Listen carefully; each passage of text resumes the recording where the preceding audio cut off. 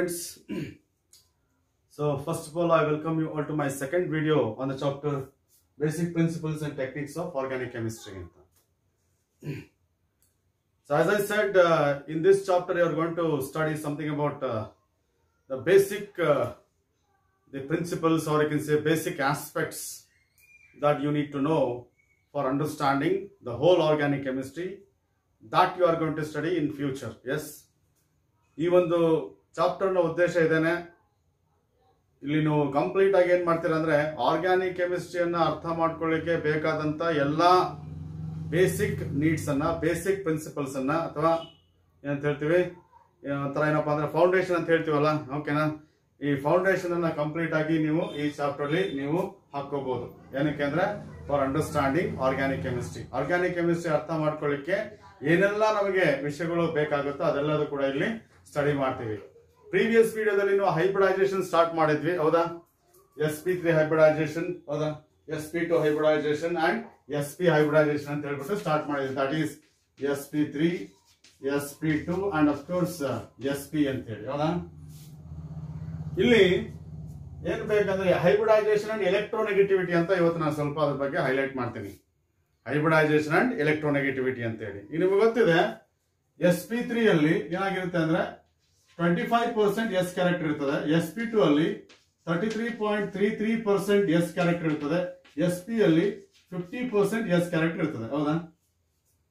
ಅಂದ್ರೆ contribution of S orbital ಅಂತ. S ಆರ್ಬಿಟಲಿನ ಒಂದು ಕಾಂಟ್ರಿಬ್ಯೂಷನ್ ಇದೆಯಲ್ಲ, ಕೊಡುಗೆ ಇದೆಯಲ್ಲ, ಈ ಹೈಬ್ರಿಡ್ ಆರ್ಬಿಟಲ್ಗೆ ಫಿಫ್ಟಿ ಪರ್ಸೆಂಟ್ ಇರುತ್ತೆ. ಇಲ್ಲಿ ಎಸ್ ಪಿ ಟು ಅಲ್ಲಿ ಎಸ್ ಆರ್ಬಿಟಲ್ ಕೊಡುಗೆ ಇದೆಯಲ್ಲ ಎಸ್ ಪಿ ಟು ಹೈಬ್ರಿಡ್ಗೆ ಅದು thirty three point three three percent ಇರುತ್ತೆ.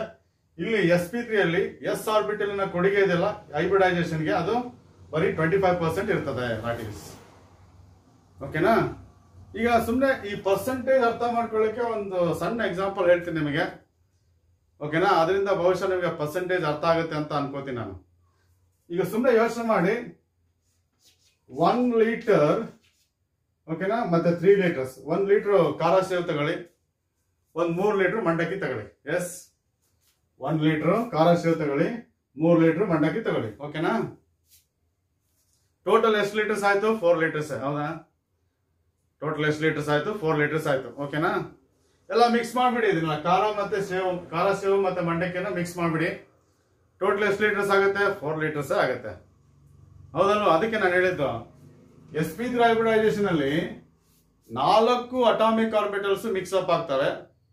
ನಾಲ್ಕು ಅಟಾಮಿಕ್ ಮಿಕ್ಸ್ ಅಪ್ ಆಗ್ಬಿಟ್ಟು ನಾಲ್ಕು ಹೈಬ್ರಿಡ್ ಆರ್ಬಿಟಲ್ಸ್ ಅನ್ನ ಕೊಡ್ತವೆ, ಹೌದಾ?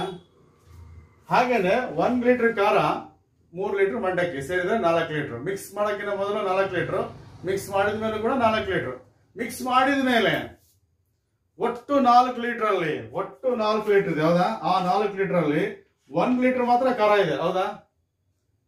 ಆ ಖಾರ ಏನೀಗ ಏನದು? ಎಸ್ ಆರ್ಬಿಟಲ್ ಹೌದಾ? ಆ ಖಾರ ಏನಿದೆ? S orbital. ನಾಲ್ಕು ಲೀಟರ್ ಖಾರ ಮಂಡಕ್ಕಿಯಲ್ಲಿ ಒಂದ್ ಲೀಟರ್ ಏನಿದೆ? ಖಾರ ಇದೆ. ಅಂದಾಗ ಎಷ್ಟು ಭಾಗ ಆಯ್ತು ಅದು? Zero point two five. ಅಂದ್ರೆ ಎಷ್ಟು? Twenty five percent. ಹೌದಾ? Zero point two five means what ನೂರಿಂದ multiply ಮಾಡಿ. ಎಷ್ಟಾಗುತ್ತೆ? Twenty five percent. S.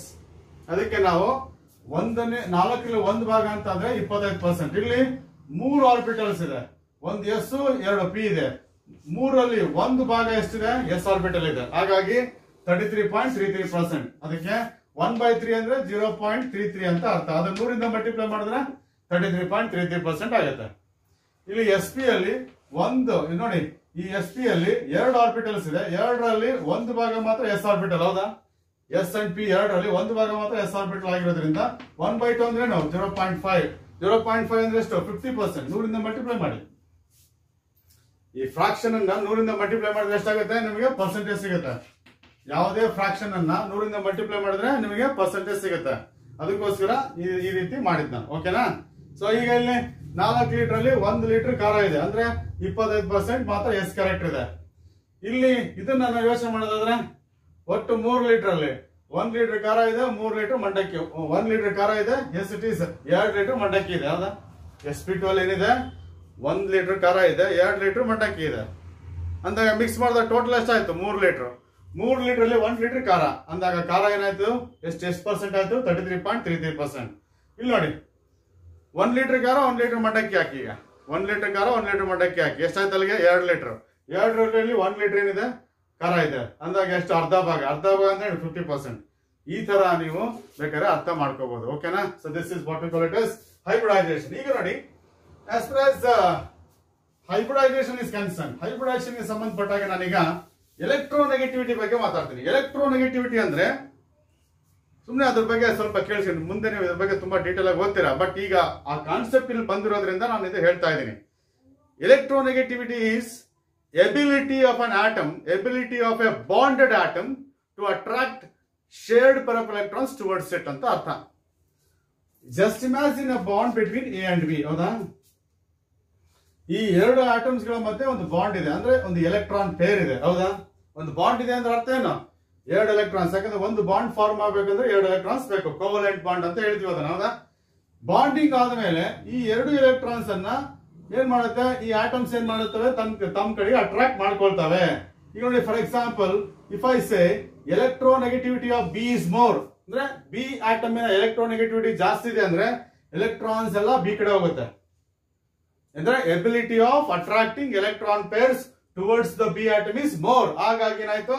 Electrons ಎಲ್ಲ ಬಿ ಕಡೆ ಹೋಗುತ್ತೆ. ಅಂದ್ರೆ electronegativity of an atom as electronegativity of an atom increases ಒಂದು ಆಟಮಿನ ಎಲೆಕ್ಟ್ರೋನೆಗೆಟಿವಿಟಿ ಜಾಸ್ತಿ ಆದಂಗೆಲ್ಲ ಏನಾಗುತ್ತೆ? ಅದಕ್ಕೆ ಎಲೆಕ್ಟ್ರಾನ್ ಪೇರ್ಸ್ ಅನ್ನ ತನ್ನ ಕಡೆಗೆ ಅಟ್ರಾಕ್ಟ್ ಮಾಡುವಂತ ಕೆಪಾಸಿಟಿ ಜಾಸ್ತಿ ಆಗುತ್ತೆ. ಹಾಗಾಗಿ ಇಲ್ಲಿ ಅದೇ ಮಾತಾಡ್ತೀನಿ ನಾನೀಗ. ಎಸ್ ಪಿ ತ್ರೀ ನೋಡಿ ಇಲ್ಲಿ. C S three single bond C S three ಇದೆ. ಇಲ್ಲಿ C H two double bond C S two ಇದೆ. ಇಲ್ಲಿ ಸಿ ಟ್ರಿಪಲ್ ಬಾಂಡ್ ಸಿ ಇದೆ. ಹೌದಾ? ಇಲ್ಲಿ ಸಿಂಗಲ್ ಬಾಂಡ್ ಇದೆ, ಇಲ್ಲಿ ಡಬಲ್ ಬಾಂಡ್ ಇದೆ ಟ್ರಿಪಲ್ ಬಾಂಡ್ ಇದೆ. ಹೌದಾ? ಗಮನಿಸಬೇಕು.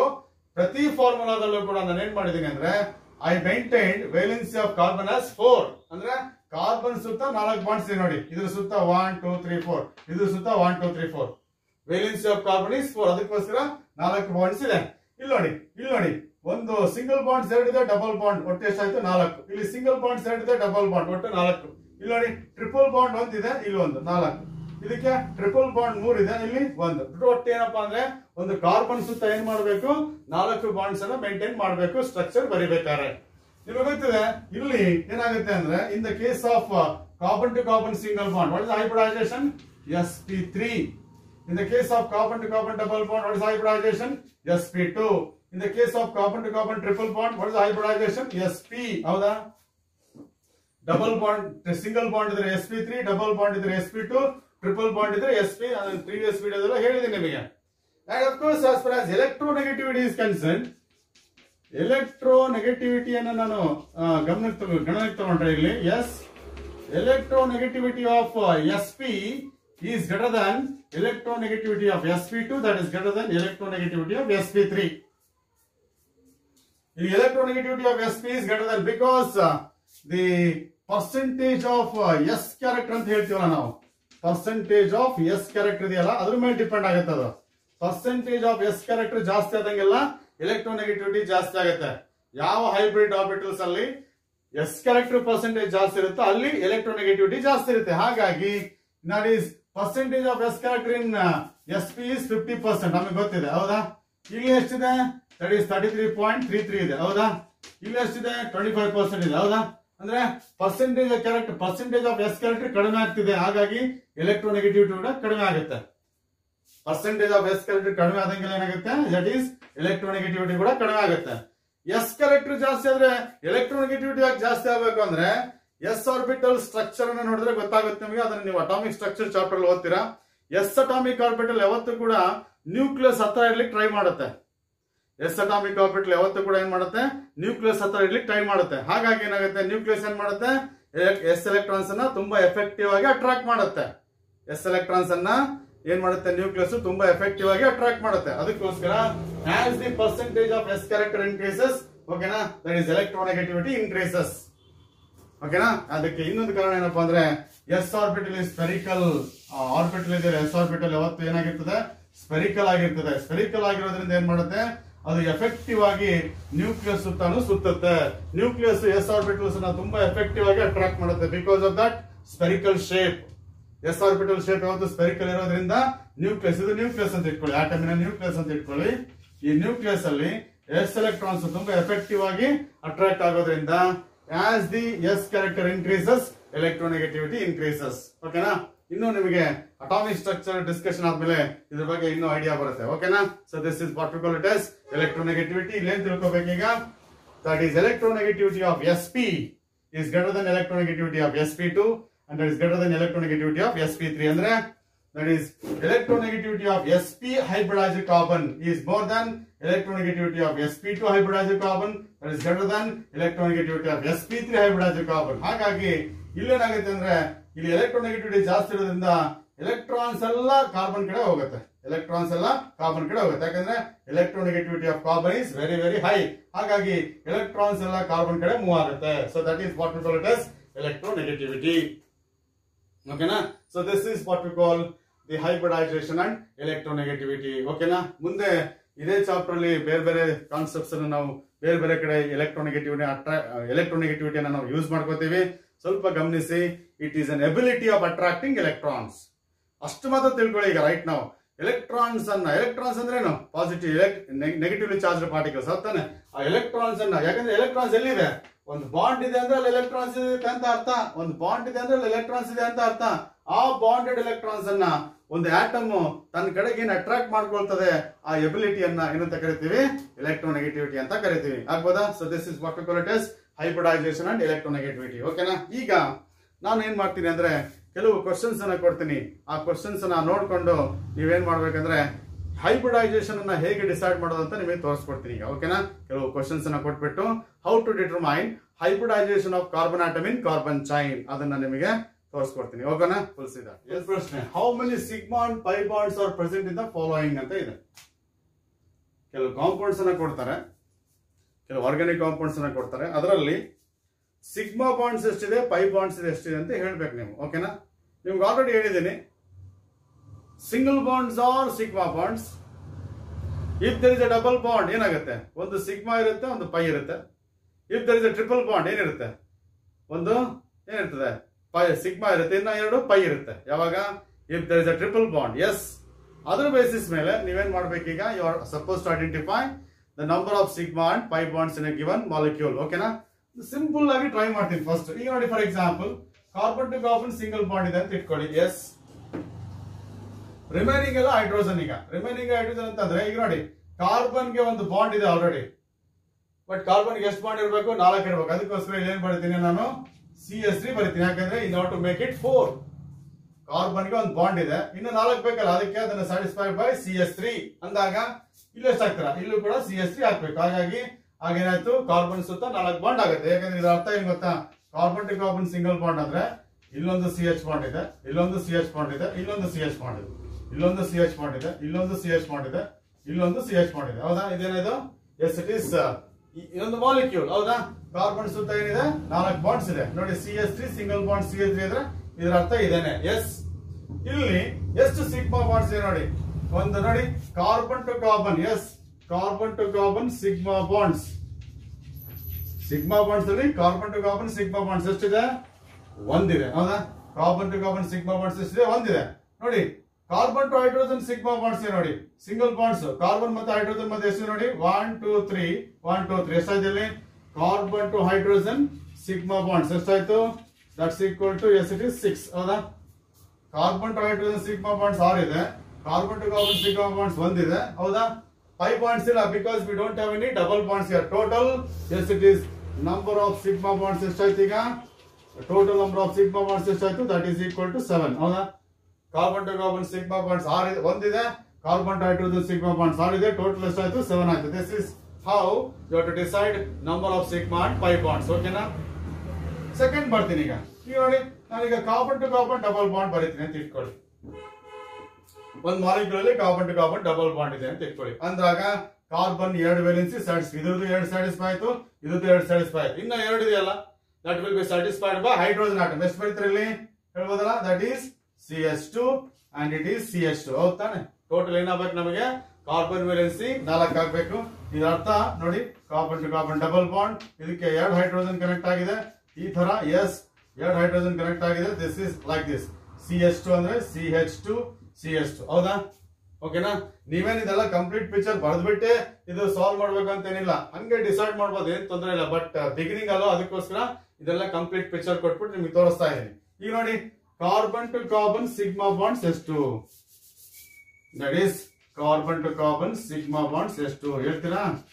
ಎಷ್ಟು ಹೇಳ್ತೀರಾ? ಎಸ್ ಇಲ್ಲಿ ಡಬಲ್ ಬಾಂಡ್ ಇದೆ. ಹೌದಾ? ಡಬಲ್ ಬಾಂಡ್ಸ್ ಅಲ್ಲಿ ಒಂದು ಸಿಗ್ಮಾ ತಾನೆ? ದಟ್ ಈಸ್ ಒನ್ ಹೌದಾ? Carbon to hydrogen sigma bonds ಎಷ್ಟು? Yes carbon to hydrogen sigma bonds ಎಷ್ಟು ನೋಡಿ. That is carbon to hydrogen sigma bonds ಒಂದು, ಎರಡು, ಮೂರು, ನಾಲ್ಕು ಎಸ್ ಇಟ್ ಈಸ್ ಫೋರ್ ಹೌದಾ?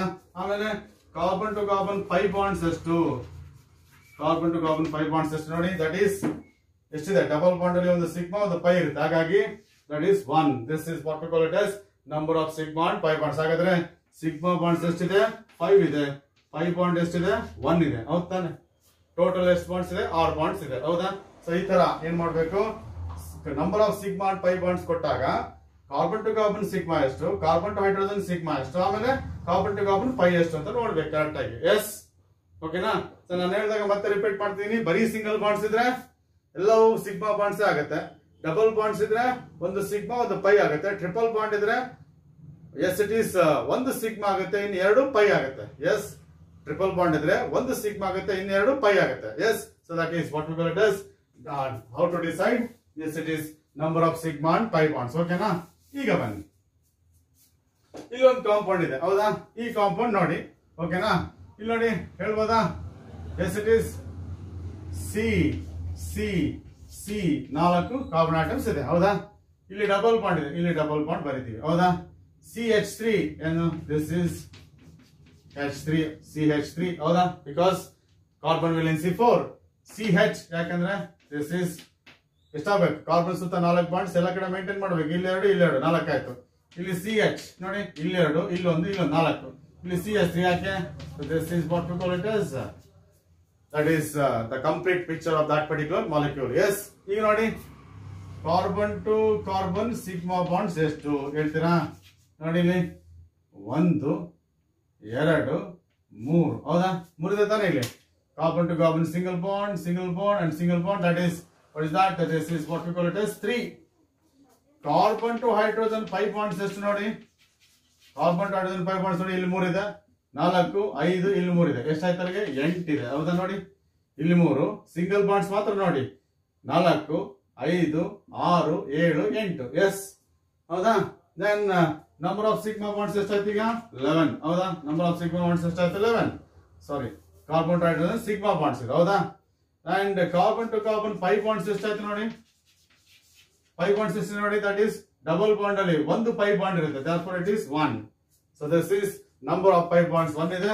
Number of sigma bonds eleven ಇದೆ. This is how to decide the carbon to number of sigma bonds and pi bonds ಓಕೆನಾ ಇನ್ನ ಕೆಲವು problems ಇದೆ. ನಿಮ್ಮ ಬುಕ್ ಅಲ್ಲಿ ಅದನ್ನ ನೋಡೋಣ. Yes? ಈಗ ನೋಡಿ, ಈ ಕಾಂಪೌಂಡ್ ಅಲ್ಲಿ ಎಸ್ ಈಗ ಫೋರ್ತ್ ಕಾಂಪೌಂಡ್ ಅಲ್ಲಿ ನೋಡಿ ರೈಟ್ ಒಂದ್, ಎರಡು, ಮೂರು, ನಾಲ್ಕು, ಐದು ಕಾಂಪೌಂಡ್ ಅದು ಬರ್ಕೊಂಬಿಡಿ ಫಸ್ಟ್ ಐದು ಕಾಂಪೌಂಡ್ ಇದೆ, ಹೌದಾ? ಇಲ್ಲಿ ಫಸ್ಟ್ ಮತ್ತೆ ಸೆಕೆಂಡ್ ಮತ್ತೆ ಏನಿದೆ? ಟ್ರಿಪಲ್ ಪಾಯಿಂಟ್ ಇದೆ, ನಂತರ ಸಿಂಗಲ್ ಪಾಯಿಂಟ್ ಇದೆ, ಇಲ್ಲಿ ಡಬಲ್ ಪಾಯಿಂಟ್ ಇದೆ, ಹೌದಾ?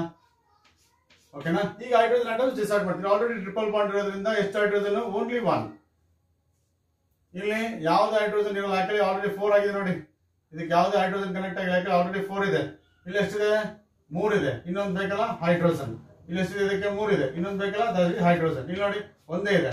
ಇನ್ನು ಮೂರು yes it is hydrogen atom this is what to it the structural formula of this particular compound yes ಈಗ ನೋಡಿ carbon to carbon sigma bonds ಎಷ್ಟಾಯ್ತು ನೋಡಿ ದಟ್ ಇಸ್ ಕಟ್ ಮಾಡ್ಬೋದಾ? One two three four yes it is four ಇದೆ. Carbon to hydrogen sigma bonds ಎಷ್ಟಿದೆ ನೋಡಿ?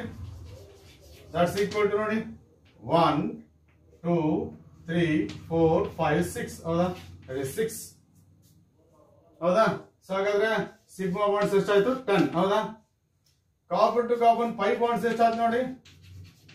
Copper to carbon pi bonds ಎಷ್ಟು ನೋಡಿ? ಇಲ್ಲಿ ಎಷ್ಟಿದೆ? ಟ್ರಿಪಲ್ ಬಾಂಡ್ ಅಲ್ಲಿ ಒಂದು ಸಿಗ್ಮಾ ಎರಡು ಪೈ ಇಲ್ಲಿ ಡಬಲ್ ಅಲ್ಲಿ ಒಂದು ಸಿಗ್ಮಾ ಒಂದು ಪೈ ಎಷ್ಟಾಯ್ತು ಅಲ್ಲಿಗೆ? ತ್ರೀ ಇಲ್ಲಿ ಎರಡು, ಇಲ್ಲಿ ಒಂದು. ಟೋಟಲ್ ಎಷ್ಟಾಯ್ತು? ಮೂರು. ಮೂರು ಪೈ ಬಾಂಡ್ಸ್ ಇದೆ, ಹತ್ತು ಸಿಗ್ಮಾ ಬಾಂಡ್ಸ್ ಇದೆ. This is the another molecule yes ಈಗ ಬನ್ನಿ. ಐದನೇದು ಬನ್ನಿ. ದಟ್ ಈಸ್ ನೆಕ್ಸ್ಟ್ ಕಾರ್ಬನ್ ಇದೆ ನಾಲ್ಕಿದೆ right it this is C and this is C ನಾಲ್ಕು ಕಾರ್ಬನ್ ಬರೆದ್ರಿ. ಇಲ್ಲಿ ಡಬಲ್ ಬಾಂಡ್ ಇದೆ. ಇಲ್ಲಿ ಡಬಲ್ ಬಾಂಡ್ ಇಲ್ಲಿ ಡಬಲ್ ಬಾಂಡ್ ಇದೆ. ಡಬಲ್ ಬಾಂಡ್ ಎಸ್ ಇಲ್ಲಿ ಸಿಂಗಲ್ ಬಾಂಡ್ ಇದೆ. ಓಕೆನಾ ಸರಿ. ಇಲ್ಲಿ ಡಬಲ್ ಬಾಂಡ್ ಇರೋದ್ರಿಂದ ಆಲ್ರೆಡಿ ಟೂ ವ್ಯಾಲೆನ್ಸಿ ಸ್ಯಾಟಿಸ್ಫೈ ಆಗಿದೆ. ಇನ್ನು ಉಳಿದಿದ್ದು ಎರಡು.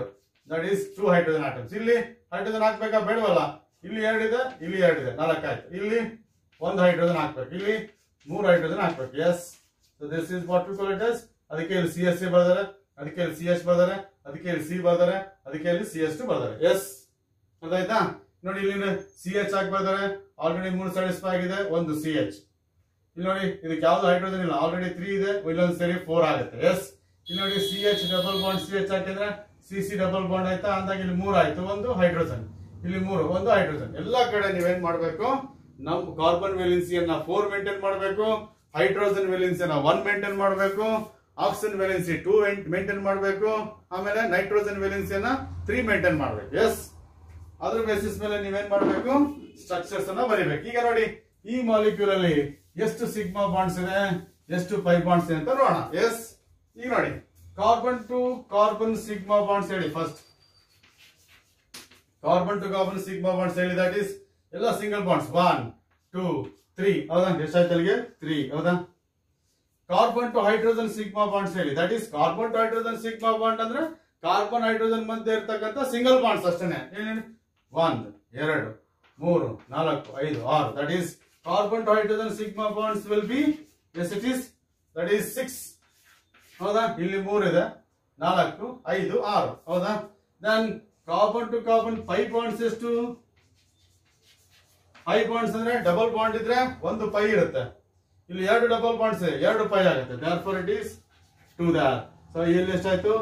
Nine sigma and two pi ಹೌದಾ? Nine sigma and two pi ಮೂರು ಸಿ ಸಿ ಸಿಗ್ಮಾ ಬಾಂಡ್ ಇದೆ.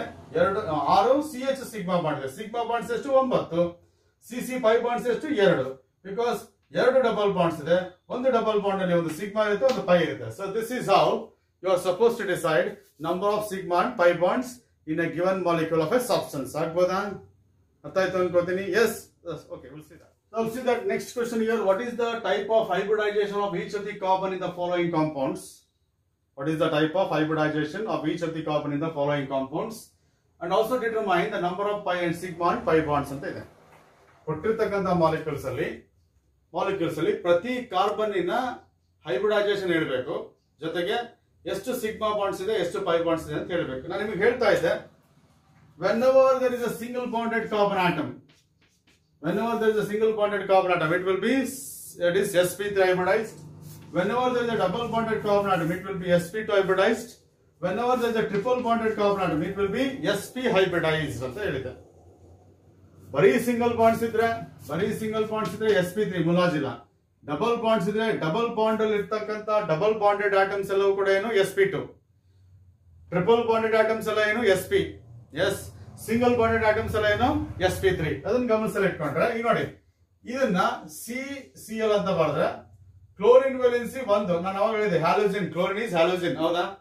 ಅದ್ರ ವೇಲೆನ್ಸಿ ಎಷ್ಟು? ಒನ್ ನಮಗೆ ಲಾಸ್ಟ್ ವಿಡಿಯೋದಲ್ಲಿ ನೋಡಿ ಬೇಕಾದ್ರೆ ಹೇಳಿದ್ದೀನಿ ನಿಮಗೆ.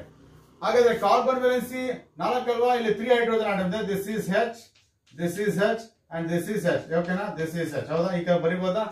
ಸೊ ಕಾರ್ಬನ್ ಆಟಮ್ಸ್ ಸುತ್ತ ಬರೀ ಸಿಂಗಲ್ ಪಾರ್ಟ್ಸ್ ಇರೋದ್ರಿಂದ carbon is s p three hybridised that is carbon is s p three hybridised ಒಂದು ಕ್ವಶನ್ ಉತ್ತರ ಆಯ್ತು ಈಗ. ಎಲ್ಲಾ ಬಾಂಡ್ಸ್ ಸಿಂಗಲ್ ಬಾಂಡ್ಸ್ ಇರೋದ್ರಿಂದ carbon atom is s p three hybridised ಹೌದಾ? ಹೌದಲ್ವಾ? ಹಾಗಾದ್ರೆ ಸಿಗ್ಮಾ ಬಾಂಡ್ಸ್ ಎಷ್ಟಿದೆ ಪೈ ಬಾಂಡ್ಸ್ ಎಷ್ಟಿದೆ ಅಂತ ಕೇಳಿದ್ರೆ, ಇಲ್ಲಿ ನೋಡಿ. ಎಷ್ಟಿದೆ ಸಿಗ್ಮಾ ಬಾಂಡ್ಸ್ ಕಾಣ್ತಲ್ಲ ಎಲ್ಲ ಸಿಂಗಲ್ ಬಾಂಡ್ಸ್ ತಾನೆ. All single bonds are sigma bonds ಹಾಗಾಗಿ that is three carbon to hydrogen sigma bonds ಇದೆ. ಮೂರು carbon to hydrogen sigma bonds ಇದೆ. One carbon to chlorine sigma bond ಇದೆ. ಹೌದಾ? So this is what we call four sigma bonds that is four sigma bonds ಹೌದಾ? ಇದರಲ್ಲಿ right ಇಲ್ಲಿ ಬನ್ನಿ. H C H O ಅಂತ ಇದೆ. ಒಂದು ಹೈಡ್ರೋಜನ್ ಇದೆ, ಒಂದು ಕಾರ್ಬನ್ ಇದೆ, ಹೌದಾ? ಆಕ್ಸಿಜನ್ ಇದೆ, ಹೌದಾ? ಯಾವುದೇ ಕಾಂಪೌಂಡ್ ಆಗಲಿ ಫಸ್ಟ್ ಕಾರ್ಬನ್ ಬರೀರಿ. ಅದು ರೆಫರೆನ್ಸ್ ಫಸ್ಟ್ ಕಾರ್ಬನ್ ಬರೀಬೇಕು. ಅದು ವ್ಯಾಲೆನ್ಸ್ ಎಷ್ಟಾಗಬೇಕು ನಮಗೆ? ನಾಲ್ಕು ಆಗ್ಬೇಕು. ಈಗ ಇದ್ರ ಸುತ್ತ ಎಷ್ಟು ಹೈಡ್ರೋಜನ್ ಇದೆ? ಇಲ್ಲೊಂದು ಹೈಡ್ರೋಜನ್ ಇದೆ, ಇಲ್ಲೊಂದು ಹೈಡ್ರೋಜನ್ ಇದೆ. ಎರಡು ಹೈಡ್ರೋಜನ್ ಆಯ್ತಾ ಈಗ? ಆಯ್ತಲ್ವಾ? ನೋಡಿ ಆಕ್ಸಿಜನ್ ಇದೆ. ಈಗ ಒಂದು ಆಕ್ಸಿಜನ್ ಈ ತರ ಬರದೆ ಅಂತ ಇಟ್ಕೊಳ್ಳಿ ನಾನು. ಆಕ್ಸಿಜನ್ ಈಗ ಬರದೆ ಅಂತ ಇಟ್ಕೊಳ್ಳಿ. ಎಸ್. ಆಕ್ಸಿಜನ್ ಈ ತರ ಬರದೆ ಅಂತ ಇಟ್ಕೊಳ್ಳಿ. ಓಕೆನಾ? ಬರದ ತಕ್ಷಣ ಏನಾಗುತ್ತೆ? ನೋಡಿ, ಕಾರ್ಬನ್ ವೇಲೆನ್ಸಿ ತ್ರೀ ಆಗುತ್ತೆ. ಆಕ್ಸಿಜನ್ ವೇಲೆನ್ಸಿ ಒನ್ ಆಗುತ್ತೆ. ನಮ್ಗೆ ಏನಾಗಬೇಕು? ಕಾರ್ಬನ್ ವೇಲೆನ್ಸಿ ಕಾರ್ಬನ್ ವೇಲೆನ್ಸಿ ನಾಲ್ಕು ಆಗ್ಬೇಕು ಆಕ್ಸಿಜನ್ ವೇಲೆನ್ಸಿ ಎಷ್ಟಾಗಬೇಕು? ಟೂ ಆಗ್ಬೇಕು. ಟೂ ಆಗ್ಬೇಕಂದ್ರೆ ಏನ್ ಮಾಡ್ಬೇಕು? ನೋಡಿ ಒಂದು ಡಬಲ್ ಬಾಂಡ್ ಈ ತರ ಬರಿಬೇಕು. ಈಗ ನೋಡಿ ಕಾರ್ಬನ್ ಸುತ್ತ ಎಷ್ಟಾಯ್ತು? ನಾಲ್ಕಾಯ್ತು. ಆಕ್ಸಿಜನ್ಗೆ ಎರಡಾಯ್ತು. ಹೈಡ್ರೋಜನ್ಗೆ ಒನ್ ಆಯ್ತು ಸೊ ಈ ತರ ನೀವು ಸ್ಟ್ರಕ್ಚರ್ಸ್ ಅನ್ನ ಬರಿಬೇಕು. ಅದಕ್ಕೆ ಈ ಎಕ್ಸಾಂಪಲ್ಸ್ ತಗೊಂಡಿದ್ದು ನಾನು. ಓಕೆನಾ ಈಗ ನೋಡಿ, ಇದು ನೋಡಿದ ತಕ್ಷಣ ನಿಮ್ಗೆ ಗೊತ್ತಾಗುತ್ತೆ. Carbon is involved in double bond yes there carbon is S P two hybridise ಹೌದಾ ಹೇಳಿದ double bond ಇದ್ರೇನು S P two hybridisation single bond ಇದ್ರೇನು S P three triple bond ಇದ್ರೇನು S P ಹೌದಾ? Therefore carbon atom is S P two hybridise because it involves double bonds ಹಾಗಾದ್ರೆ sigma bond ಎಷ್ಟು pi bonds ಎಷ್ಟು ಅಂತ ಹೇಳ್ಬೇಕಲ್ವಾ ಈಗ? ಹೇಳಿ. Carbon to oxygen sigma bonds ಎಷ್ಟಿದೆ ನೋಡಿ? Carbon to oxygen sigma bond double bond ಅಲ್ಲಿ ಒಂದು sigma for it is one ಇದೆ. ಕಾರ್ಬನ್ ಟು ಆಕ್ಸಿಜನ್ ಎರಡು ಬಾಂಡ್ಸ್ ಅಲ್ಲಿ ಒಂದು ಸಿಗ್ಮಾ ಒಂದು pi carbon to hydrogen sigma bonds ಎಷ್ಟಿದೆ ನೋಡಿ. Carbon to hydrogen sigma bonds ನೋಡಿ. ಇಲ್ಲಿ ಎರಡಿದೆ ಹೌದಾ? ಫಾರ್ ಇಟ್ ಇಸ್ ಟೂ ಹೌದಾ? ಆಮೇಲೆ carbon to oxygen pi bond ಇದೆ ತಾನೆ ಇಲ್ಲಿ? ಹೌದಾ? Carbon to oxygen carbon to carbon bonds ಇಲ್ಲ ಇಲ್ಲಿ. Carbon to oxygen double bond ಅಲ್ಲಿ, ಒಂದು ಸಿಗ್ಮಾ ಒಂದು ಪೈ ಹಾಗಾಗಿ ಏನಾಯ್ತು ಈಗ? ದಿಸ್ ಇಸ್ ಒನ್ ಹೌದಾ? So total number of sigma bonds will be three pi bonds will be one yes ಓಕೆನಾ therefore sigma bonds will be three pi bonds will be one That is what we call it as number of sigma and pi bonds. Yes ಅರ್ಥಾಯ್ತು ಅನ್ಕೋತೀನಿ? ಯಾಕೆ ನಾನು oxygen ಮತ್ತೆ carbon ಮತ್ತೆ double bond ಬರ್ತದೆ ಅಂತ ಗೊತ್ತಾಯ್ತು ಅನ್ಕೋತೀನಿ? ಯಾಕಂದ್ರೆ ನಮ್ಗೆ ಕಾರ್ಬನ್ ವೇಲೆನ್ಸಿ ನಾಲ್ಕು ಆಗ್ಬೇಕು. ಹೌದಾ? ಅದಕ್ಕೋಸ್ಕರ ಡಬಲ್ ಬಾಂಡ್ ಬರ್ದಿದ್ದೀನಿ. ಸಿಂಗಲ್ ಬಾಂಡ್ ಬಂದ್ರೆ ಕಾರ್ಬನ್ ವೇಲೆನ್ಸಿ ಮೂರ್ ಆಗುತ್ತೆ. ಆಕ್ಸಿಜನ್ ವೇಲೆನ್ಸಿ ಒನ್ ಆಗುತ್ತೆ. ಹೌದಾ? ಅದಕ್ಕೋಸ್ಕರ ಎಲ್ಲ ಸ್ಯಾಟಿಸ್ಫೈ ಆಗ್ಬೇಕು ಅಂದ್ರೆ ಈ ತರ ಬರಿಬೇಕು. ಎಸ್ ಈಗ ಬನ್ನಿ.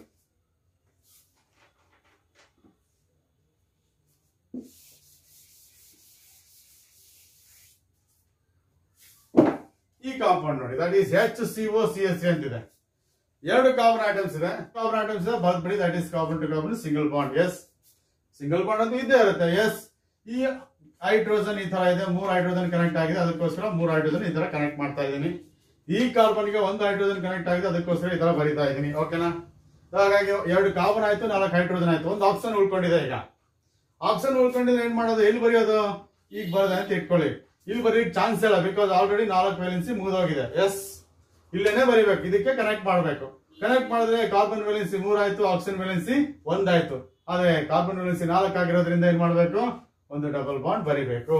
ಎಸ್ ಆಗ ಕಾರ್ಬನ್ ವೇಲೆನ್ಸಿ ನಾಲ್ಕಾಯ್ತು ಆಕ್ಸಿಜನ್ ವೇಲೆನ್ಸಿ ಎರಡಾಯ್ತು. ಹೌದಾ? ಸೊ ಹಾಗಾಗಿ ಈಗ ನೋಡಿ, ಈ ಕಾರ್ಬನ್ ಇದೆಯಲ್ಲ this is what is that S P two ಹೌದಾ? This carbon atom is sp2 because it is involved in double bond. This carbon atom is sp3 ಹೌದ್ ತಾನೆ. ಈ ಕಾರ್ಬನ್ ಆಟಮ್ sp3 ಯಾಕೆ ಇಲ್ಲಿ ಬರೀ ಸಿಂಗಲ್ ಬಾಂಡ್ಸ್ ಇದೆ. This carbon atom is S P two because it involves one double bond ಒಂದು double bond ಇದ್ರೆ ಸಾಕು, ಅದು ಎಸ್ ಪಿ ಟು ಆಗ್ಬಿಡತ್ತೆ. ಎಲ್ಲವೂ ಸಿಂಗಲ್ ಬಾಂಡ್ಸ್ ಇದ್ರೆ sp3 ಆಗ್ಬಿಡುತ್ತೆ. ಸೊ ಹಾಗಾಗಿ so this carbon atom is sp3 hybridise this carbon atom is sp2 hybridise ಹೌದಾ? ಈಗ ಸಿಗ್ಮಾ ಅಂಡ್ ಪೈ ಬಾಂಡ್ಸ್ ನೋಡೋಣ ಈಗ. ಎಸ್ ಎಷ್ಟು ಸಿಗ್ಮಾ ಬಾಂಡ್ಸ್ ಇದೆ, ಎಷ್ಟು ಪೈ ಬಾಂಡ್ಸ್ ನೋಡೋಣ. That is carbon to carbon sigma bonds ಎಷ್ಟು? ಹೇಳ್ತೀರ? Carbon to carbon sigma bonds ಎಷ್ಟು? ಒಂದು. ಹೌದಾ? ಇದೇ ಒಂದೇ ಇದೆ. Carbon to hydrogen sigma bonds ಎಷ್ಟು? ಎಸ್ ನೋಡಿ. ಇಲ್ಲೊಂದಿದೆ. ಇಲ್ಲೊಂದಿದೆ. ಇಲ್ಲೊಂದಿದೆ. ಇಲ್ಲೊಂದು ಎಷ್ಟಾಯ್ತು ಅವರಿಗೆ ನಾಲ್ಕು. ಹೌದಾ? ಇಲ್ಲೊಂದು ನೋಡಿ ಸಿಗ್ಮಾ ಬಾಂಡ್ ಇದೆ. Carbon to oxygen sigma bond ಇದೆ ನೋಡಿ. ಹೌದಾ? ಅದನ್ನು ಲೆಕ್ಕಕ್ಕೆ ತಗೋಬೇಕು. ಡಬಲ್ ಬಾಂಡ್ ಒಂದು ಸಿಗ್ಮಾ ಒಂದು ಪೈ ಎಷ್ಟಾಯ್ತು ಅಲ್ಲಿಗೆ ಒಂದು. ಹಾಗಾದ್ರೆ pi bond carbon to carbon ಮಧ್ಯೆ ಇಲ್ಲ. ಯಾಕಂದ್ರೆ ಡಬಲ್ ಬಾಂಡ್ ಇಲ್ವೇ ಅಲ್ಲಲ್ಲ? ಕಾರ್ಬನ್ ಟು ಆಕ್ಸಿಜನ್ ಮಧ್ಯೆ ಪೈ ಬಾಂಡ್ ಇದೆ ನೋಡಿ. Carbon to oxygen pi bond ಎಷ್ಟಾಯ್ತು ಅಲ್ಲಿಗೆ ಒಂದು. ಹೌದಾ? ಸಿಗ್ಮಾ ಬಾಂಡ್ಸ್ ಎಷ್ಟಾಗಾದ್ರೆ ಆರು. Pi bonds ಎಷ್ಟಾಗಾದ್ರೆ yes it is one six sigma and one pi this is the number of sigma and pi bonds here in this molecule yes ಅರ್ಥ ಆಗಿತ್ತಲ್ವಾ? Yes ಈ ತರ ನೀವು ಡಿಸೈಡ್ ಮಾಡಬೇಕು. ಡಬಲ್ ಬಾಂಡೆಡ್ ಐಟಮ್ಸ್ ಇದ್ಬಿಟ್ರೆ carbon atoms ಇದ್ಬಿಟ್ರೆ ಏನದು? S P two ಹೌದಾ? ಡಬಲ್ ಬಾಂಡ್ ಇದ್ರೆ ಒಂದು ಸಿಗ್ಮಾ, ಒಂದು ಪೈ. ಹೌದಾ? ಬರೀ ಸಿಂಗಲ್ ಬಾಂಡ್ಸ್ ಇದ್ರೆ ಎಸ್ ಪಿ ತ್ರೀ. ಎಲ್ಲವೂ ಕೂಡ ಸಿಗ್ಮಾ ಬಾಂಡ್ಸ್. ಹೌದಾ? ಟ್ರಿಪಲ್ ಬಾಂಡ್ ಇದ್ರೆ ಒಂದು ಸಿಗ್ಮಾ, ಎರಡು ಪೈ. ಹೌದಾ? ನೋಡೋಣ ನೆಕ್ಸ್ಟ್ ಎಕ್ಸಾಂಪಲ್ ಅಲ್ಲಿ. ಎಸ್ ನೋಡಿ that is H C N ಅಂತ ತಗೋತೀನಿ. Simple possible H C N ಹೌದಾ? ಒಂದೇ ಕಾರ್ಬನ್ ಇದೆ, ಬರ್ದ್ಬಿಡಿ. ಅದಕ್ಕೊಂದು ಹೈಡ್ರೋಜನ್ ಕನೆಕ್ಟ್ ಆಗಿದೆ, ಸರಿ. ಇಲ್ಲಿ ನೋಡಿ, ನೈಟ್ರೋಜನ್ ಕನೆಕ್ಟ್ ಆಗಿದೆ, ಈ ತರ ಬರೀತೀನಿ. ಎಸ್ ಇಲ್ಲಿ ಈ ತರ ಬರ್ದೆ ನಾನು ಅಂದ್ರೆ ಕಾರ್ಬನ್ ವೇಲೆನ್ಸಿ ಸ್ಯಾಟಿಸ್ಫೈ ಆಗಲ್ಲ. ನೀವು ಅಕಸ್ಮಾತ್ ಹಿಂಗ್ ಬರಿಬೋದಾ? ಹಿಂಗ್ ಬರಿಬೋದಾ? ಸಾಧ್ಯ ಇಲ್ಲ. ಬಿಕಾಸ್ ಹಿಂಗ್ ಬರ್ದ್ಬಿಟ್ರೆ ಹೈಡ್ರೋಜನ್ ವೇಲೆನ್ಸಿ ಏನಾಗುತ್ತೆ? ಎರಡಾಗುತ್ತೆ. ಹೈಡ್ರೋಜನ್ ವೇಲೆನ್ಸಿ ಒಂದೇನೆ. ಹಾಗಾಗಿ ಹಿಂಗೇನೆ ಬರಿಬೇಕೀಗ. ಈಗ ಕಾರ್ಬನ್ ವೇಲೆನ್ಸಿ ನಾಲ್ಕು ಆಗ್ಬೇಕಂದ್ರೆ ಎರಡು ಬಾಂಡ್ ಬರಿಬೋದಾ ಹಿಂಗೆ? ಎಸ್ ಅವಾಗೇನಾಯ್ತು ಕಾರ್ಬನ್ ವೇಲೆನ್ಸಿ ನಾಲ್ಕು. ಒನ್ ಪ್ಲಸ್ ತ್ರೀ ನಾಲ್ಕು ಆಯ್ತು. ನೈಟ್ರೋಜನ್ ವೇಲೆನ್ಸಿ ತ್ರೀ ತಾನೆ? ಎಸ್ ಅದು ಕೂಡ ಸ್ಯಾಟಿಸ್ಫೈ ಆಯ್ತು. ಹೈಡ್ರೋಜನ್ ವೇಲೆನ್ಸಿ ಒನ್ ಎಸ್ ಹಾಗಾದ್ರೆ ಟ್ರಿಪಲ್ ಬಾಂಡ್ ಇದೆ. Therefore it is S P hybridised ಹೌದಾ? ಹೈಬ್ರಿಡೈಸೇಷನ್ ಏನು? ಎಸ್ ಪಿ ಹೈಬ್ರಿಡೈಸ್ ಹೌದಾ? ಯಾಕೆ that is it is triple bonded carbon ಹೌದಾ? ಎಸ್ ಪಿ ಹೈಬ್ರಿಡೈಸ್ಡ್ ಈಗ carbon to carbon sigma bonds ಅಂತ ಇಲ್ವೇ ಇಲ್ಲ. ಬಿಕಾಸ್ ಕಾರ್ಬನ್ ಟು ಕಾರ್ಬನ್ ಬಾಂಡ್ಸೇ ಇಲ್ವಾ? ಹಾಗಾದ್ರೆ carbon to nitrogen sigma bond ಇದೆಯಲ್ಲ ಒಂದು? That is one triple bond ಅಲ್ಲಿ ಒಂದು ಸಿಗ್ಮಾ ಎರಡು ಪೈ ಹೌದಾ? ಆಮೇಲೆ carbon to hydrogen sigma bond ಇದೆ ನೋಡಿ. That is carbon to hydrogen sigma bond ಎಷ್ಟು ಒಂದು. ಆಮೇಲೆ carbon to nitrogen pi bond ಇದೆ ನೋಡಿ. ಟ್ರಿಪಲ್ ಬಾಂಡ್ ಅಲ್ಲಿ ಎಸ್ ಇಟ್ ಇಸ್ ಎರಡು ಪೈ ಪಾಯಿಂಟ್ಸ್ ಇರುತ್ತೆ. ಹಾಗಾಗಿ it is two this is number of sigma points two number of pi points two this is what we call it the the hybridisation as well as number of sigma and pi points yes ಇನ್ನು ಕೆಲವು examples ನೋಡೋಣ. ಇನ್ನು clarity ಸಿಗುತ್ತೆ. S ಈ example ನೋಡಿ that is in the fifth example look at C S two that is C S three single point C H C S three single point C H double point C H and single point C N ಅಂತ ಇದೆ. ಹೌದಾ? ಓಕೆನಾ ಈಗ ನೋಡಿ. ಕಾ ನಾಲ್ಕು carbon atoms ಬರ್ದ್ಬಿಡಿ that is ನಾಲ್ಕು ಕಾರ್ಬನ್ ನಾಲ್ಕು ನಾಲ್ಕಿದೆ ಒನ್ ಟೂ ತ್ರೀ ಫೋರ್ ಓಕೆನಾ ಈಗ ಒಂದು ಆಲ್ರೆಡಿ ಒಂದು ಬಾಂಡ್ ಸ್ಯಾಟಿಸ್ಫೈ ಆಗಿದೆ. ಹಂಗಾದ್ರೆ ಇನ್ನೆಷ್ಟು? Three why it is C S three ಅದಕ್ಕೋಸ್ಕರ ಅಲ್ಲಿ ಸಿ ಎಸ್ ತ್ರೀ ಬರೀತೀನಿ. ಈಗ ಆಲ್ರೆಡಿ ಎರಡು ಬಾಂಡ್ ಸ್ಯಾಟಿಸ್ಫೈ ಆಗಿದೆ. ನೋಡಿ ಡಬಲ್ ಬಾಂಡ್ ಇರೋದ್ರಿಂದ ಒಂದು ಇನ್ನೊಂದು ಡಬಲ್ ಬಾಂಡ್ ಬರೆದ್ಬಿಡಿ. ಓಕೆನಾ ಡಬಲ್ ಬಾಂಡ್ ಇರೋದ್ರಿಂದ ಮೂರು ಸ್ಯಾಟಿಸ್ಫೈ ಆಯ್ತು. ಹಾಗಾಗಿ ಬರೀ ಒನ್ ಸಿ ಎಚ್ ಬರೀತೀನಿ. ಇಲ್ಲಿ ನೋಡಿ, ಅದಕ್ಕೆ ಸಿ ಎಚ್ ಇದೆ. ಇಲ್ಲಿ ಮೂರು ಬಾಂಡ್ ಇದೆ. ಹಾಗಾಗಿ ಒನ್ ಸಿ ಎಚ್ ಎಸ್ ಇಲ್ಲಿ ನೋಡಿ ಸಿ ಸಿಂಗಲ್ ಬಾಂಡ್ ಏನಂತ ಬರೆದ್ರೆ ಕಾರ್ಬನ್ ವೇಲೆನ್ಸಿ ಎರಡು ಆಯ್ತು ನೈಟ್ರೋಜನ್ ವೇಲೆನ್ಸಿ ಒನ್ ಆಯ್ತು ಬಟ್ ನಮ್ಗೆ ಎಷ್ಟು ಆಗ್ಬೇಕು? ಎಸ್ ಇಟ್ ಈಸ್ ನಾಲ್ಕು ಆಗ್ಬೇಕು. ನಾಲ್ಕು ಆಗ್ಬೇಕಂದ್ರೆ ಎಸ್ ಇಟ್ ಈಸ್ ಈ ತರ ಬರಿಬೇಕು. ಎಸ್ ಓಕೆನಾ ಹಾಗಾಯ್ತು. ಕಾರ್ಬನ್ ವೇಲೆನ್ಸಿ ನಾಲ್ಕು ಆಯ್ತು ನೈಟ್ರೋಜನ್ ವೇಲೆನ್ಸಿ ಮೂರ್ ಆಯ್ತು. ಹಾಗಾದ್ರೆ ಈಗ ಹೈಬ್ರಿಡೈಸೇಷನ್ ಹೇಳ್ಬೇಕಲ್ಲ ನೀವು? ಎಸ್ ಒಳ್ಳೆ hybridisation of all the carbon atoms yes ಇಲ್ಲಿ ಟ್ರಿಪಲ್ ಬಾಂಡ್ ಇದೆ. Therefore it is S P ಹೌದಾ? ಟ್ರಿಪಲ್ ಬಾಂಡ್ ಇರೋದ್ರಿಂದ ಎಸ್ ಪಿ ಇದು ನೋಡಿ. ಡಬಲ್ ಬಾಂಡ್ ಇದೆ. ಅದಕ್ಕಾಗಿ that is S P two yes ಇಲ್ಲಿ ನೋಡಿ. This is double bond therefore it is S P two ಹೌದಾ? ಡಬಲ್ ಬಾಂಡ್ ಇದೆ. ಇಲ್ಲಿ ಬರೀ ಸಿಂಗಲ್ ಬಾಂಡ್ ಇದೆ. Therefore it is S P three ಆಗ್ಬೋದಾ? ಇಲ್ಲಿ ಬರೀ ಸಿಂಗಲ್ ಬಾಂಡ್ ಇರೋದ್ರಿಂದ S P three double bond ಇರೋದ್ರಿಂದ ಎಸ್ ಪಿ ಟು ಇಲ್ಲಿ ಡಬಲ್ ಬಾಂಡ್ ಇದೆ. ಅದಕ್ಕೋಸ್ಕರ ಎಸ್ ಪಿ ಟು ಇಲ್ಲಿ ಟ್ರಿಪಲ್ ಬಾಂಡ್ ಇದೆ. ಅದಕ್ಕೋಸ್ಕರ ಎಸ್ ಪಿ ಎಸ್ ನೋಡಿ, ಇಲ್ಲಿ ಡಬಲ್ ಬಾಂಡ್ ಇದೆ ಮತ್ತೆ ಸಂಬಂಧ ಇಲ್ಲ ಅನ್ನಂಗಿಲ್ಲ. ಈ ಡಬಲ್ ಬಾಂಡ್ ಇದಕ್ಕೂ ಸಂಬಂಧಪಟ್ಟಿದೆ ಇದಕ್ಕೂ ಸಂಬಂಧಪಟ್ಟಿದೆ. ಮತ್ತೆ ಈ ಡಬಲ್ ಬಾಂಡ್ ಇದಕ್ಕೆ ಮಾತ್ರ ಸಂಬಂಧಪಟ್ಟಿದೆ, ಇದಕ್ಕೆ ಯಾಕೆ ಸಂಬಂಧಪಡುತ್ತೆ ಅಂತ ಲೆಕ್ಕ ಹಾಕ್ಬೇಡಿ. ಡಬಲ್ ಬಾಂಡ್ ಎರಡು ಆಟಮ್ಸ್ಗಳ ಮಧ್ಯ ಇದೆ ಅಂದ್ರೆ both are S P two hybridised yes ಈಗ number of sigma and five bonds yes C to C sigma bonds ಎಷ್ಟಿರ್ತದೆ? ಎಷ್ಟಿರ್ತದೆ ನೋಡಿ. One two three four that is sorry C to C one two three three ಮಾತ್ರ ಇದೆ. ಇಲ್ಲಿ C to N sigma bond ಇದೆ. ಹೌದಾ? ಇಲ್ಲಿರೋದೇನು single bond ಇರೋದು? C to N sigma bond ಅದು. ನಮಗೆ ಬೇಕಾಗಿರೋದು C to C one two and three ಇಲ್ಲಿ ಸಿಗ್ಮಾ ಡಬಲ್ ಬಾಂಡ್ ಅಲ್ಲಿ ಒಂದು ಸಿಗ್ಮಾ ಒಂದು ಪೈ ಇರುತ್ತೆ, ಹೌದಾ? And C to C C to H sigma bonds ಎಷ್ಟು? ಸಿ ಟು ಹೆಚ್ ಮೂರು, ನಾಲ್ಕು, ಐದು, ಹೌದಾ? This is five yes C to N sigma bond ಇದೆ ನೋಡಿ. C to N sigma bond ಇದೆ ಅಲ್ಲಿ, ಹೌದಾ? That's equal to one C to N sigma bond ಇದೆ. ಟ್ರಿಪಲ್ ಬಾಂಡ್ ಅಲ್ಲಿ ಒಂದು ಸಿಗ್ಮಾ ಎರಡು ಪೈ ಅಲ್ವಾ? ಅದಕ್ಕೋಸ್ಕರ ಎಷ್ಟಾಯ್ತು ಅಲ್ಲಿಗೆ? ನೈನ್ ಸಿಗ್ಮಾ ಬಾಂಡ್ಸ್ ಎಸ್ ಆಮೇಲೆ C to N five bonds ಎಷ್ಟು? ಸೊ ಟ್ರಿಪಲ್ ಬಾಂಡ್ ಅಲ್ಲಿ yes it is yes it is ಎರಡಿದೆ ಆಮೇಲೆ ಸಿ ಟು ಸಿ ಒಂದು ಪೈ ಬಾಂಡ್ ನೋಡಿ. C to C pi bond yes C to C pi bond ಎಷ್ಟು? One C to C pi bond one C to C pi bond is C to N pi bond is two totally ಎಷ್ಟು pi bonds ಇದೆ. Three pi bonds ಇದೆ. Yes ಅದಾಯ್ತಲ್ವಾ so carbon to carbon double bond ಅಲ್ಲಿ ಒಂದು pi ಇದೆ. C to C pi bond carbon to nitrogen triple bond ಅಲ್ಲಿ ಎರಡು pi ಇದೆ. ಹಾಗಾಗಿ ಎರಡು. ಸೊ ಹಾಗಾಗಿ so this is what it number of sigma and pi bonds ಓಕೆನಾ ಎಸ್ ನಾನು ಇನ್ನೂ ಕೆಲವು ಎಕ್ಸಾಂಪಲ್ಸ್ ಕೊಟ್ಬಿಟ್ಟು ಓಕೆನಾ ನಿಮಗೆ ನಂಬರ್ ಆಫ್ ಸಿಗ್ಮಾ ಬಾಂಡ್ಸ್ ಅಥವಾ ಸಾರಿ ಹೈಬ್ರಿಡೈಸೇಷನ್ ಏನು ಏನು ಮಾಡಬೇಕು ಅಂತ ಹೇಳ್ಬಿಟ್ಟು ಹೇಳ್ಕೊಡ್ತೀನಿ. ಓಕೆನಾ ಸಿ ನೆಕ್ಸ್ಟ್ ಎಕ್ಸಾಂಪಲ್ಸ್ ರೈಟ್ ಇಲ್ಲೊಂದು, ಇನ್ನೊಂದು ಪ್ರಶ್ನೆ ನೋಡಿ. What is the state of hybridisation of the carbon carbon in the following compounds ಎಲ್ಲಾ ಕಾಂಪೌಂಡ್ಸ್ ಅಲ್ಲಿ ಒಂದೇ ಕಾರ್ಬನ್ ಇದೆ. ಅದರ ಸ್ಟೇಟ್ ಆಫ್ ಹೈಬ್ರಿಡೈಸೇಷನ್ ತಿಳ್ಕೋಬೇಕು. ನಂತರ determine the shape of the molecules ಯಾಕಂದ್ರೆ shape of the molecule depends on what hybridisation ಒಂದು molecule shape ಇದೆಯಲ್ಲ, ಅದು ಎದ್ರ ಮೇಲೆ ಡಿಪೆಂಡ್ ಆಗುತ್ತೆ? ಹೈಬ್ರಿಡೈಸೇಷನ್ ಮೇಲೆ ಡಿಪೆಂಡ್ ಆಗುತ್ತೆ. ಎಸ್ ಇಟ್ ಇಸ್ ಓಕೆನಾ ಈಗ ನೋಡಿ. ಸಿ ಎಚ್ ಟು ಇದೆ. ಸಿ ಇದೆ. ಹೌದಾ? ಎಚ್ ಟು ಅಂದಾಗ ಈ ತರ ಬರಿಬೇಕು. ಸಿ ಎಚ್ ಟು ಆಯ್ತು. ಇದು ಓ ಆಯ್ತು. ಎಸ್ ಈಗ ಬಂದ್ರೆ ನಮ್ಮ ಕಾರ್ಬನ್ ವೇಲೆನ್ಸಿ ಸ್ಯಾಟಿಸ್ಫೈ ಆಗಲ್ಲ. ನಿಮಗೆ ಗೊತ್ತಿದೆ. ಎಷ್ಟಾಗಬೇಕು? ನಾಲ್ಕು ಆಗ್ಬೇಕು ಅದಕ್ಕೋಸ್ಕರ ಈ ತರ ಬರೀತೀನಿ. ಎಸ್ ಓಕೆನಾ ಈಗ ಏನ್ ಹೇಳ್ಬೋದು? This carbon atom is s p two hybridised ಹೌದಾ? This carbon atom is s p two hybridised s p two hybridised ಅಂದ್ರೆ ದಟ್ ಈಸ್ ಪ್ಲೇನಾರ್ ಜಾಮಿಟ್ರಿ ಹೌದಾ? ಹೇಳಿದ್ದಾವ ನಿಮಗೆ? ಎಸ್ ಪಿ ಟು ಹೈಬ್ರಿಡೈಸ್ ಅಂದ್ರೆ ಪ್ಲೇನಾರ್ ಜಾಮಿಟ್ರಿ ಎಸ್ ಅಥವಾ triangular planar ಅಂತಾನು ಕರೀತಾರೆ. Triangular planar S planar ಅಂದ್ರೇನು? ಎಲ್ಲಾ ಐಟಮ್ಸ್ ಒಂದೇ ಪ್ಲೇನ್ ಅಲ್ಲಿ ಇದೆ ಅಂತ. ಇದೇ ಪ್ಲೇನ್ ಇದು. ಎಸ್ ಸಮತಲ ಅಂತೀವಲ್ಲ?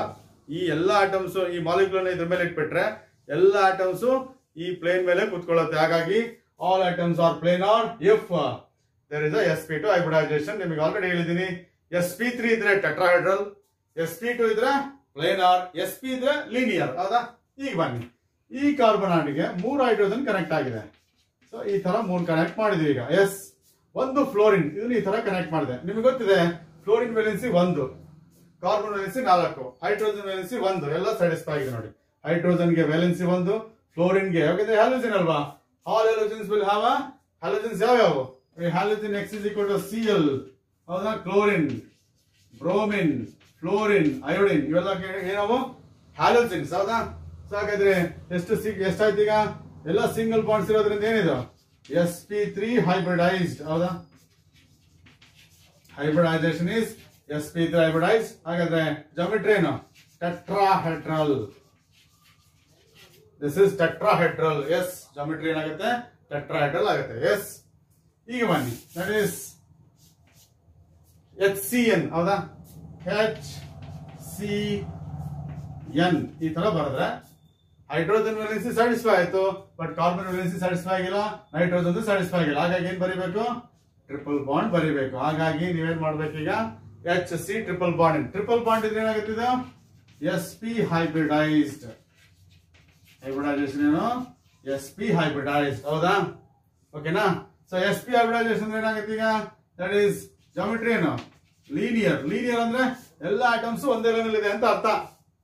ಲೀನಿಯರ್ ಅಂದ್ರೆ that is all atoms are present in H C N ಎಲ್ಲ ಐಟಮ್ಸ್ ಒಂದೇ ನೆಲ ಇದೆ ಅಂತ ಅರ್ಥ. ಒಂದೇ ಲೈನ್ ಬರುತ್ತೆ. ಹಾಗಾಗಿ ದಟ್ ಈಸ್ ಲೀನಿಯರ್ ಜಾಮೆಟ್ರಿ ಅಂತ. ಎಸ್ ಓಕೆನಾ so this is what it is the determination of shape of the molecules on the basis of hybridisation yes ನಾನೀಗ ಕೆಲವು ಎಕ್ಸಾಂಪಲ್ಸ್ ಕೊಡ್ತೀನಿ. ಈ ಎಕ್ಸಾಂಪಲ್ಸ್ ನಿಮಗೆ ಸಾಲ್ವ್ ಮಾಡಿದ್ರೆ, ಏನು ನೆಕ್ಸ್ಟ್ ನಾನು ಕೊಡುವಂತ ಎಕ್ಸಾಂಪಲ್ಸ್ ಸಾಲ್ವ್ ಮಾಡಿದ್ರೆ ಬಹುಶಃ ನಿಮಗೆ it will help you to face the competitive exams ಅಲ್ಲೂ ಕೂಡ ಕೆಲವು ಎಕ್ಸಾಂಪಲ್ಸ್ ಹಾಕಿ ಯಾವ ಥರ ಕೊಡ್ತಾರೆ ಅಂತ ಬಿಟ್ಟು ನಿಮಗೆ ತೋರಿಸ್ತೀನಿ. ಓಕೆನಾ ಇಲ್ಲಿ ನೋಡಿ ಒಂದು ಕಾರ್ಬನ್ ಚೈನ್ ಕೊಟ್ಟಿದ್ದಾರೆ. ಎಸ್ ಇಲ್ಲಿ identify the hybridisation of each carbon atoms in the following molecules ಇಲ್ಲಿ ಕೊಟ್ಟಿರ್ತಕ್ಕಂಥ ಮಾಲಿಕ್ಯೂಲ್ಸ್ನ ಪ್ರತಿ ಕಾರ್ಬನ್ ಆಟಮಿನ ಈಚ್ ಕಾರ್ಬನ್ ಆಟಮ್ ಪ್ರತಿ ಕಾರ್ಬನ್ ಆಟಮಿನ ಹೈಬ್ರಿಡೈಸೇಷನ್ ಅನ್ನ ಹೇಳ್ಬೇಕು ನೀವು ಅಂತ. ಓಕೆನಾ ಈಗ ನಿಮ್ಗೆ ಆಲ್ರೆಡಿ ಗೊತ್ತಿದೆ. ಈ ಕಾರ್ಬನ್ ಓಕೆನಾ ಇದು ಫಸ್ಟ್ ಕಾರ್ಬನ್ ತಗೊಂಡ್ರೆ. ಎಸ್ ಡಬಲ್ ಬಾಂಡ್ ಇರೋದ್ರಿಂದ ಏನಾಗುತ್ತೆ? ಎಸ್ ಪಿ ಟು ಇಲ್ಲಿ ಡಬಲ್ ಬಾಂಡ್ ಇರೋದ್ರಿಂದ ಏನಾಗುತ್ತೆ? ಎಸ್ ಪಿ ಟು ಎಸ್ ಇಲ್ಲಿ ಡಬಲ್ ಬಾಂಡ್ ಇದೆ ತಾನೆ? Yes it is S P two yes ಇಲ್ಲಿ ಡಬಲ್ ಬಾಂಡ್ ಇದೆ. ಅದಕ್ಕೋಸ್ಕರ ಎಸ್ ಪಿ ಟು ಎಸ್ ಇಲ್ಲಿ ಟ್ರಿಪಲ್ ಬಾಂಡ್ ಇದೆ. ಅದಕ್ಕೋಸ್ಕರ ಎಸ್ ಪಿ ಇಲ್ಲಿ ಟ್ರಿಪಲ್ ಬಾಂಡ್ ಇದೆ. ಅದಕ್ಕೋಸ್ಕರ ಇದು ಎಸ್ ಪಿ ಇಲ್ಲಿ ಬರೀ ಸಿಂಗಲ್ ಬಾಂಡ್ಸ್ ಇದೆ. ಯಾಕಂದ್ರೆ ಸಿ ಎಸ್ ತ್ರೀ ಅಂದ್ರೆ ಏನು? ಎಲ್ಲೋ ಸಿಂಗಲ್ ಬಾಂಡ್ಸ್ ತಾನೆ? ಹಂಗಾಗಿ ಇದು ಕೂಡ ಏನು? Yes it is S P three this is the state of hybridisation ಅಂತ ಹೇಳಿ ಎಸ್ ಓಕೆನಾ? ಇದನ್ನ ಡಬಲ್ ಬಾಂಡ್ಸ್ ಅನ್ನ ನೋಡ್ಬಿಟ್ಟು ಹೇಳುವಂತದ್ದು. ಈಗ ನೋಡಿ, ನಮ್ಮ ಹತ್ರ ಒಂದು ರೂಲ್ ಇದೆ ರೀ ಫೋರ್ ಫಿಂಗರ್ ರೂಲ್ ಅಂತ ಒಂದಿದೆ. ಫೋರ್ ಫಿಂಗರ್ ರೂಲ್ ಅಂತ ಹೇಳ್ಬಿಟ್ಟು ಅದಿದೆ. ಬಹುಶಃ ನನಗೆ, ನನ್ ಕೇಳಿದ್ರೆ this is suitable rule for determination of hybridisation in yes it is carbon chain ಅಲ್ಲಿ ಮಾತ್ರ. ಕಾರ್ಬನ್ ಚೈನ್ ಅಲ್ಲಿ ಕಾರ್ಬನ್ ಚೈನ್ ಅಲ್ಲಿ ಕಾರ್ಬನ್ ಐಟಮ್ಸ್ಗೆ ಯಾವ ಹೈಬ್ರಿಡೈಸೇಷನ್ ಅಂತ ತಿಳ್ಕೊಳ್ಳಿಕ್ಕೆ ಫೋರ್ ಫಿಂಗರ್ ರೂಲ್ ಇದೆಯಲ್ಲ, ಅದು ತುಂಬಾನೇ ಈಸಿ ಆಗುತ್ತೆ. Four finger open four fingers ನಾಲ್ಕು ಫಿಂಗರ್ ಯಾಕೆ ಓಪನ್ ಮಾಡಬೇಕು ಅಂದ್ರೆ ಎಸ್ ಇಟ್ ಈಸ್ ನಾಲ್ಕು four is the valency of carbon ಅದಕ್ಕೋಸ್ಕರ. ನಿಮಗೆ ಟೋಟಲ್ ಕೌಂಟ್ ಫೋರ್ ಬಂದ್ರೆ that is S P three ಓಕೆನಾ ಟೋಟಲ್ ಕೌಂಟ್ ತ್ರೀ ಬಂದ್ರೆ S P two total two ಬಂದ್ರೆ ಎಸ್ ಪಿ ಇದು ಸ್ವಲ್ಪ ಮನಸ್ಸಲ್ಲಿ ಇಟ್ಕೊಳ್ಳಿ. ಹೇಳ್ತೀನಿ ಹೆಂಗೆ ಅಂತ ಹೇಳಿ ಟೂ ಯಾಕೆ? ಎಸ್ ಪಿ ಎರಡು ತನ ಇರೋದು. Two S P two three ಯಾಕೆ? ಒಂದು ಎಸ್ ಇದೆ, ಎರಡು ಪಿ ಇದೆ. ಅದಕ್ಕೋಸ್ಕರ ಮೂರು. ಒಂದ್ ಎಸ್ ಮೂರ್ ಪಿ, ನಾಲ್ಕಿದೆ. ನಾಲ್ಕು ಫಿಂಗರ್ ಓಪನ್ ಮಾಡ್ಬೇಕು. ಈಗ ಏನ್ ಮಾಡ್ಬೇಕು? ನಾನೀಗ ಈ ಒಂದು ಕಾರ್ಬನ್ ಆಟಮಿನ ಹೈಬ್ರಿಡೈಸೇಷನ್ ತಿಳ್ಕೊಬೇಕಲ್ವಾ? ಅದಕ್ಕೆ ಏನ್ ಮಾಡೋದು? ಈ ಕಾರ್ಬನ್ ಆಟಮ್ಗೆ ಎಷ್ಟು ಪೈ ಬಾಂಡ್ಸ್ ಇದೆ ನೋಡ್ಬೇಕು. ನೆನ್ಪಿಟ್ಕೊಳ್ಳಿ, ಎಷ್ಟು ಪೈ ಬಾಂಡ್ಸ್ ಇದೆ? ಈ ಕಾರ್ಬನ್ ಐಟಮ್ಸ್ ಎಷ್ಟಿದೆ? ಎಷ್ಟು ಪೈ ಬಾಂಡ್ಸ್ ಇದೆ ನೋಡ್ಬೇಕು. ಈ ಕಾರ್ಬನ್ಗೆ ಎಷ್ಟು ಪೈ ಬಾಂಡ್ ಇದೆ? ಡಬಲ್ ಬಾಂಡ್ ಇದ್ರೆ ಒಂದೇ ತಾನೇ ಪೈ ಎಸ್ ಡಬಲ್ ಬಾಂಡ್ ಇದ್ರೆ ಒಂದು ಪೈ ಒಂದು ಸಿಗ್ಮಾ ಮಾತ್ರ ನಾನು ಕೇಳ್ತಿರೋದು ಬರೀ ಪೈ ಮಾತ್ರ. ಈ ಕಾರ್ಬನ್ ಐಟಮ್ಗೆ ಎಷ್ಟು ಪೈ ಇದೆ? ಒಂದಿದೆ. ಕ್ಲೋಸ್ ಒನ್ ಫಿಂಗರ್ ನಾವು ಈ ಕಾರ್ಬನ್ ಆಟಮ್ಗೆ ಒಂದು ಪೈ ಇರೋದ್ರಿಂದ ಒಂದು ಫಿಂಗರ್ ಅನ್ನ ಕ್ಲೋಸ್ ಮಾಡ್ತೀನಿ. ಉಳಿಯೋದಷ್ಟು ಮೂರು. ಸೊ ಅಂದ್ರೆ three four S P two yes three four S P two ಓಕೆನಾ ಇಲ್ಲಿಗೆ ಬನ್ನಿ ಈಗ. ಮತ್ತೆ ಫೋರ್ ಫಿಂಗರ್ ಓಪನ್ ಮಾಡಿ. ಈ ಕಾರ್ಬನ್ಗೆ ಎಷ್ಟು ಪೈ ಇದೆ? ಒಂದೇ ತಾನೇ ಇರೋದು? ಕ್ಲೋಸ್ ಒನ್ ಫಿಂಗರ್ ಎಷ್ಟು ಉಳಿತು? ಮೂರು. ಹೌದಾ? ಹೌದ್ ತಾನೆ? ಸೊ ಹಂಗಂದ್ರೆ ಮೂರು ಅಂದ್ರೆ ಏನು? Three four S P two there four for this it is S P two yes ಮತ್ತೆ ಇದಕ್ಕೆ ಬನ್ನಿ. ಇದಕ್ಕೆ ಮತ್ತೆ ಫೋರ್ ಫಿಂಗರ್ ಓಪನ್ ಮಾಡಿ. ಇಲ್ಲಿ ಈ ಕಾರ್ಬನ್ಗೆ ಎಷ್ಟು ಪೈ ಮಾಡಿ ಇಲ್ಲಿ ಸಿಗ್ಮಾ ಇದೆ, ಇಲ್ಲಿ ಸಿಗ್ಮಾ ಇದೆ, ಇಲ್ಲಿ ಪೈ ಇದೆ ನೋಡಿ. ಈ ಕಾರ್ಬನ್ ಒಂದು ಪೈ ಇದೆ. ಹಾಗಾಗಿ ಒಂದು ಕ್ಲೋಸ್ ಮಾಡಿ. ಎಸ್ ಒಂದು ಕ್ಲೋಸ್ ಮಾಡಿ. ಎಸ್ ಅಂದಾಗ ಎಷ್ಟು ಉಳಿತು? ಮೂರು. ಮೂರು ಅಂದ್ರೆ ಏನು? ಎಸ್ ಪಿ ಟು ಎಸ್ ಇಲ್ಲಿ ಬನ್ನಿ. ಈ ಕಾರ್ಬನ್ಗೆ ಒಂದು ಸಿಗ್ಮಾ ಇಲ್ಲಿ ಎಷ್ಟಿದೆ? ಎರಡು ಪೈ ಇದೆ ನೋಡಿ. ಟ್ರಿಪಲ್ ಬಾಂಡ್ ಅಂದ್ರೆ ಏನು? ಒಂದು ಸಿಗ್ಮಾ ಟೂ ಪೈ ಹೌದ್ ತಾನೆ? ಈ ಟ್ರಿಪಲ್ ಬಾಂಡ್ ಅಲ್ಲಿ ಎರಡು ಪೈ ಇರೋದ್ರಿಂದ ಕ್ಲೋಸ್ ಟೂ ಫಿಂಗರ್ಸ್ ನಾವು. ಈ ಕಾರ್ಬನ್ ನನಗೆ ಸ್ಟೇಟ್ ಆಫ್ ಹೈಬ್ರಿಡೈಸೇಷನ್ ಬೇಕು. ಈ ಕಾರ್ಬನ್ ಎರಡು ಪೈಪ್ ಬಾಂಡ್ಸ್ ಅದಕ್ಕೋಸ್ಕರ ಎರಡು ಫಿಂಗರ್ ಒಪ್ಪು ಕ್ಲೋಸ್ ಮಾಡಿದೀನಿ ಉಳಿಯೋದಷ್ಟು? ಎರಡು. ಸೊ ಎರಡು ಅಂದ್ರೆ ಏನು? ಇಟ್ ಈಸ್ ಎಸ್ ಪಿ ಇಲ್ಲಿ ಬನ್ನಿ. ಈ ಕಾರ್ಬನ್ಗೆ ಟ್ರಿಪಲ್ ಬಾಂಡ್ ಇದೆ. ಟ್ರಿಪಲ್ ಬಾಂಡ್ ಇದೆ ಎರಡು ಪೈ ತಾನೆ. ಕ್ಲೋಸ್ ಟು ಫಿಂಗರ್ಸ್ ಉಳಿಯೋದಷ್ಟು? ಎರಡು. ಸೊ ಅಂದ್ರೆ ಎರಡು ಅಂದ್ರೆ ಏನು? S p so that is what is that s p there ಇಲ್ಲಿ ಬನ್ನಿ. ಇದು ಸಿ ಎಸ್ ತ್ರೀ ಇಲ್ಲಿ ಪೈ ಬಾಂಡ್ಸ್ ಇದೆನಾ? ಇಲ್ಲ. ಬರೀ ಸಿಂಗಲ್ ಬಾಂಡ್ಸ್ ಇದೆ. ಪೈ ಬಾಂಡ್ಸ್ ಇಲ್ಲ ಅಂದ್ರೆ ಓಪನ್ ಫೋರ್ ಫಿಂಗರ್ ಅಷ್ಟೇ, ನಾಲ್ಕಿದೆ. ಸೊ ಫೋರ್ ಅಂದ್ರೆ ಏನು?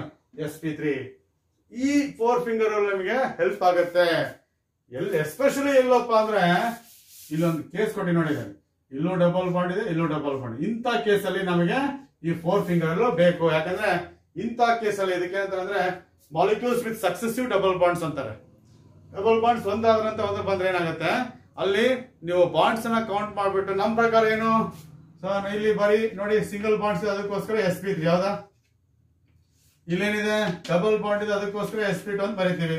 ಇಲ್ಲಿ ಡಬಲ್ ಬಾಂಡ್ ಇದೆ, ಅದಕ್ಕೋಸ್ಕರ ಎಸ್ ಪಿ ಟು ಅಂತ ಬರೀತೀವಿ ಯಾವ್ದಾ ಇಲ್ಲಿ ಡಬಲ್ ಬಾಂಡ್ ಇದೆ, ಅದಕ್ಕೋಸ್ಕರ ಎಸ್ ಪಿ ಟು ಅಂತ ಬರೀತೀವಿ ಯಾವ್ದಾ ಇಲ್ಲಿ ನೋಡಿ ಟ್ರಿಪಲ್ ಬಾಂಡ್ ಇದೆ, ಅದಕ್ಕೋಸ್ಕರ ಎಸ್ ಪಿ ಅಂತ ಬರೀತೀವಿ. ಇಲ್ಲಿ ಟ್ರಿಪಲ್ ಬಾಂಡ್ ಇದೆ, ಅದಕ್ಕೋಸ್ಕರ ಎಸ್ ಪಿ ಅಂತ ಬರೀತೀವಿ, ಹೌದಾ?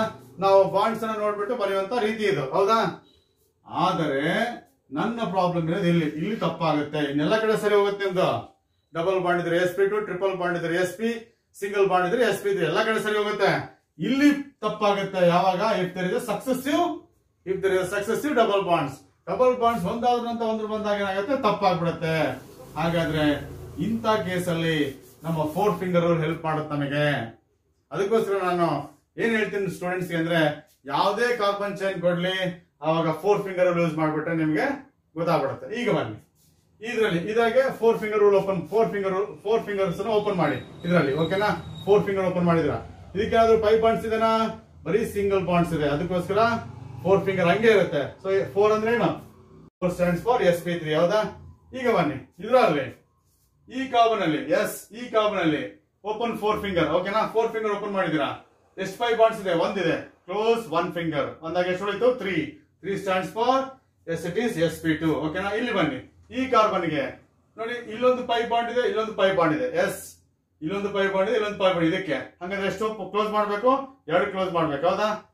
ಈ ಕಾರ್ಬನ್ಗೆ ಇಲ್ಲೊಂದು ಪೈ ಇದೆ, ಇಲ್ಲೊಂದು ಪೈ ಇದೆ. ಹಾಗಾಗಿ ಎರಡು ಕ್ಲೋಸ್ ಮಾಡ್ಬೇಕು. ಉಳಿಯೋದಷ್ಟು ಎರಡು. ಎರಡು ಅಂದ್ರೆ ಏನು? So then two means what S P two stands for S P ಹೌದಾ? ಹಾಗಾಗಿ ಇದು ಎಸ್ ಪಿ ಅವಾಗಲೇ ಇದಕ್ಕೆ ಏನಂತ ಹೇಳಿದ್ವಿ ನಾವು? ಎಸ್ ಪಿ ಟು ಅಂತ ಹೇಳಿದ್ವಲ್ಲ? ಬಟ್ ಆಕ್ಚುಲಿ ಏನಿದೆ S P because there are successive double bonds ಇದ್ದಾಗ ನಾವೇನ್ ಮಾಡ್ಬೇಕು? ಆ ಕಾರ್ಬನ್ ಆಟಮ್ ಅನ್ನ ಎಸ್ ಪಿ ಅಂತ ಡಿಸೈಡ್ ಮಾಡ್ಬೇಕು. ಬಿಕಾಸ್ ಈ ಕಾರ್ಬನ್ಗೆ ಫೋರ್ ಫಿಂಗರ್ ಓಪನ್ ಮಾಡಿದ್ರೆ ಟೂ ಫಿಂಗರ್ ಕ್ಲೋಸ್ ಮಾಡಬೇಕು because there are two pi bonds yes ಇಲ್ಲಿಗೆ ಬನ್ನಿ. ಇದಕ್ಕೆ ಒಂದು ಪೈ ಇದೆ. Yes close one finger yes one ಅಂದ್ರೆ ತ್ರೀ ತ್ರೀ ಅಂದ್ರೆ ಏನು? Three stands for S P two S p two ಇದಕ್ಕೆ ಬನ್ನಿ. ಇದು ಟ್ರಿಪಲ್ ಬಾಂಡ್ ಇದೆ. ಎಷ್ಟು ಪೈ ಬಾಂಡ್ಸ್ ಎರಡು ಪೈ ಬಾಂಡ್ ಕ್ಲೋಸ್ ಮಾಡಿ ಎರಡನ್ನ. ಹಾಗಾಗಿ ಎಸ್ ಪಿ ಇದಕ್ಕೆ ನೋಡಿ ಟ್ರಿಪಲ್ ಬಾಂಡ್ ಇದೆ. ಫೋರ್ ಫಿಂಗರ್ ಓಪನ್ ಮಾಡಿ. ಟ್ರಿಪಲ್ ಬಾಂಡ್ ಇದಾಗ ಎರಡು ಪೈ ತಾನೆ. ಎರಡು ಕ್ಲೋಸ್ ಮಾಡಿ. ಸೊ ಹಾಗಾಗಿ S P this is how you need to decide the things okay this is what we call it as the four finger rule for deciding hybridisation actually four finger rule use ಮಾಡಬೇಕು especially ಈ ತರ case ಅನ್ನ ಕೊಟ್ಟಾಗ. S ಈ ತರ cases ಅನ್ನ ನಿಮ್ಮ competitive exams ಅಲ್ಲಿ ಕೇಳ್ತಾರೆ. ಅದಕ್ಕೋಸ್ಕರ ಇದನ್ನ ಇಲ್ಲೇನೆ ನಿಮಗೆ ಇಂಟ್ರೊಡ್ಯೂಸ್ ಮಾಡಿದೀನಿ. ಹಾಕ್ಬೋದಾ ಎಸ್ ಅರ್ಥ ಆಯ್ತು ಅನ್ಕೋತೀನಿ. ಓಕೆನಾ will go to the next topic yes so dear students no I am at the very important discussion of the chapter that is representation of organic molecules or you can say writing structures of the organic molecules right What is the structure the structure is the arrangement of the atoms in a of of substance structure ಅಂದ್ರೆ ಏನು? ಒಂದು molecule ಅಲ್ಲಿ ಇರ್ತಕ್ಕಂಥ atoms ಗಳನ್ನ arrange ಮಾಡುವಂತ ವಿಧಾನ ಇದೆಯಲ್ಲ that is what call it is structure ರಚನಾ ಸೂತ್ರ ಅಂತ ಹೇಳ್ತಾರೆ ಸ್ಟ್ರಕ್ಚರಲ್ ಫಾರ್ಮುಲಾ ಅಂತ ಹೇಳ್ತೀವಲ್ಲ ದಟ್ ಇಸ್ ರಚನಾ ಸೂತ್ರ ಅಂತ ಹೇಳ್ತಾರೆ, ಆ ತರ ದಟ್ ಈಸ್ ಇಲ್ಲಿ ನಾವು organic molecules can be represented by three ways ಮೂರು ರೀತಿಯಾಗಿ ನಾವು ಆರ್ಗ್ಯಾನಿಕ್ ಮಾಲಿಕ್ಯೂಲ್ಸ್ ಅನ್ನು ರೆಪ್ರೆಸೆಂಟ್ ಮಾಡ್ತೀವಿ. ಒಂದು ಕಂಪ್ಲೀಟ್ ಸ್ಟ್ರಕ್ಚರ್ ಇನ್ನೊಂದು ಕಂಡೆನ್ಸ್ಡ್ ಸ್ಟ್ರಕ್ಚರ್ ಇನ್ನೊಂದು ಬಾಂಡ್ ಲೈನ್ ಸ್ಟ್ರಕ್ಚರ್ ಅಂತ ಒಂದು ಕಂಪ್ಲೀಟ್ ಸ್ಟ್ರಕ್ಚರ್ ಇನ್ನೊಂದು ಕಂಡೆನ್ಸ್ಡ್ ಸ್ಟ್ರಕ್ಚರ್ ಮತ್ತೆ ಇನ್ನೊಂದು ಬಾಂಡ್ ಲೈನ್ ಸ್ಟ್ರಕ್ಚರ್ ಏನಪ್ಪಾ ಅಂತಂದ್ರೆ ಕಂಪ್ಲೀಟ್ ಸ್ಟ್ರಕ್ಚರ್ ಏನ್ ಮಾಡ್ತೀವಿ ಗೊತ್ತಾ we are going to give all the types of bonds present in a molecule of a substance. We are going to represent all types of covalents, covalent bonds present in a molecule of a substance. ಒಂದು molecule ಇರ್ತಕ್ಕಂತ ಎಲ್ಲಾ carp ಎಲ್ಲಾ ಆಟಮ್ಸ್ಗಳ ಮಧ್ಯೆ ಇರ್ತಕ್ಕಂತ bonds ಅನ್ನ ಈ complete structure ಅಲ್ಲಿ ಬರೀತೀವಿ ನಾವು. ಫಾರ್ ಎಕ್ಸಾಂಪಲ್ ಈಗ ನೋಡಿ for example C single bond C and this is H this is H this is H ನೋಡಿ this is complete picture of the molecule that is C H sigma bonds ಅನ್ನ ತೋರಿಸ್ತೀನಿ C C sigma bonds ಅನ್ನ ತೋರಿಸ್ತೀನಿ. This is complete structure of a molecule and here we are going to represent all the bonds between the atoms ಎರಡು ಆಟಮ್ಸ್ಗಳ ಮಧ್ಯೆ ಇರತಕ್ಕಂಥ ಎಲ್ಲಾ ಆಟಮ್ಸ್ಗಳ ಮಧ್ಯೆ ಇರತಕ್ಕಂಥ ಬಾಂಡ್ಸ್ ಅನ್ನ ಕಂಪ್ಲೀಟ್ ಆಗಿ ತೋರಿಸುವಂತ ವಿಧಾನ. ಸೊ ಅದೇನಂತ ಕರಿತೀವಿ? ಕಂಪ್ಲೀಟ್ ಸ್ಟ್ರಕ್ಚರ್ ಅದೇ ನಾವು ಕಂಡೆನ್ಸ್ ಸ್ಟ್ರಕ್ಚರ್ ಅಲ್ಲಿ ಸ್ವಲ್ಪ ಏನ್ ಮಾಡ್ತೀವಿ, ಈ ಒಂದು ರೆಪ್ರೆಸೆಂಟೇಷನ್ ನಮ್ಮ ವರ್ಕ್ ಅನ್ನ ಕಡಿಮೆ ಮಾಡ್ಕೋತೀವಿ. ಇಲ್ಲಿಂದ ಇಲ್ಲಿಗೆ ಹೋದ್ರೆ ಸ್ವಲ್ಪ ಕಡಿಮೆ ಆಗುತ್ತೆ ನಮ್ಮ ವರ್ಕ್ ಇಲ್ಲಿಂದ ಇಲ್ಲಿ ಹೋದ್ರೆ ಇನ್ನೂ ಕಡಿಮೆ ಆಗುತ್ತೆ ನಮ್ಮ ವರ್ಕ್ ಹಾಗಾಗಿ ಇದು ಕಂಪ್ಲೀಟ್ ಸ್ಟ್ರಕ್ಚರ್ ಇದು ಕಂಡೆನ್ಸ್ ಮಾಡ್ತೀವಿ. ಸ್ವಲ್ಪ ಮಿನಿಮೈಸ್ ಮಾಡ್ತೀವಿ. ಬರೆಯೋ ಈ ವಿಧಾನವನ್ನ. ಇಲ್ಲಿ ಇನ್ನೂ ಕಂಡೆನ್ಸ್ ಮಾಡ್ತೀವಿ. Yes so this is what we call complete structure condense structure ಅಲ್ಲಿ we represent only carbon to carbon bonds condense structure ಬರೀ ಕಾರ್ಬನ್ ಟು ಕಾರ್ಬನ್ ಬಾಂಡ್ಸ್ ಅನ್ನ ಮಾತ್ರ ಬರೀತೀವಿ.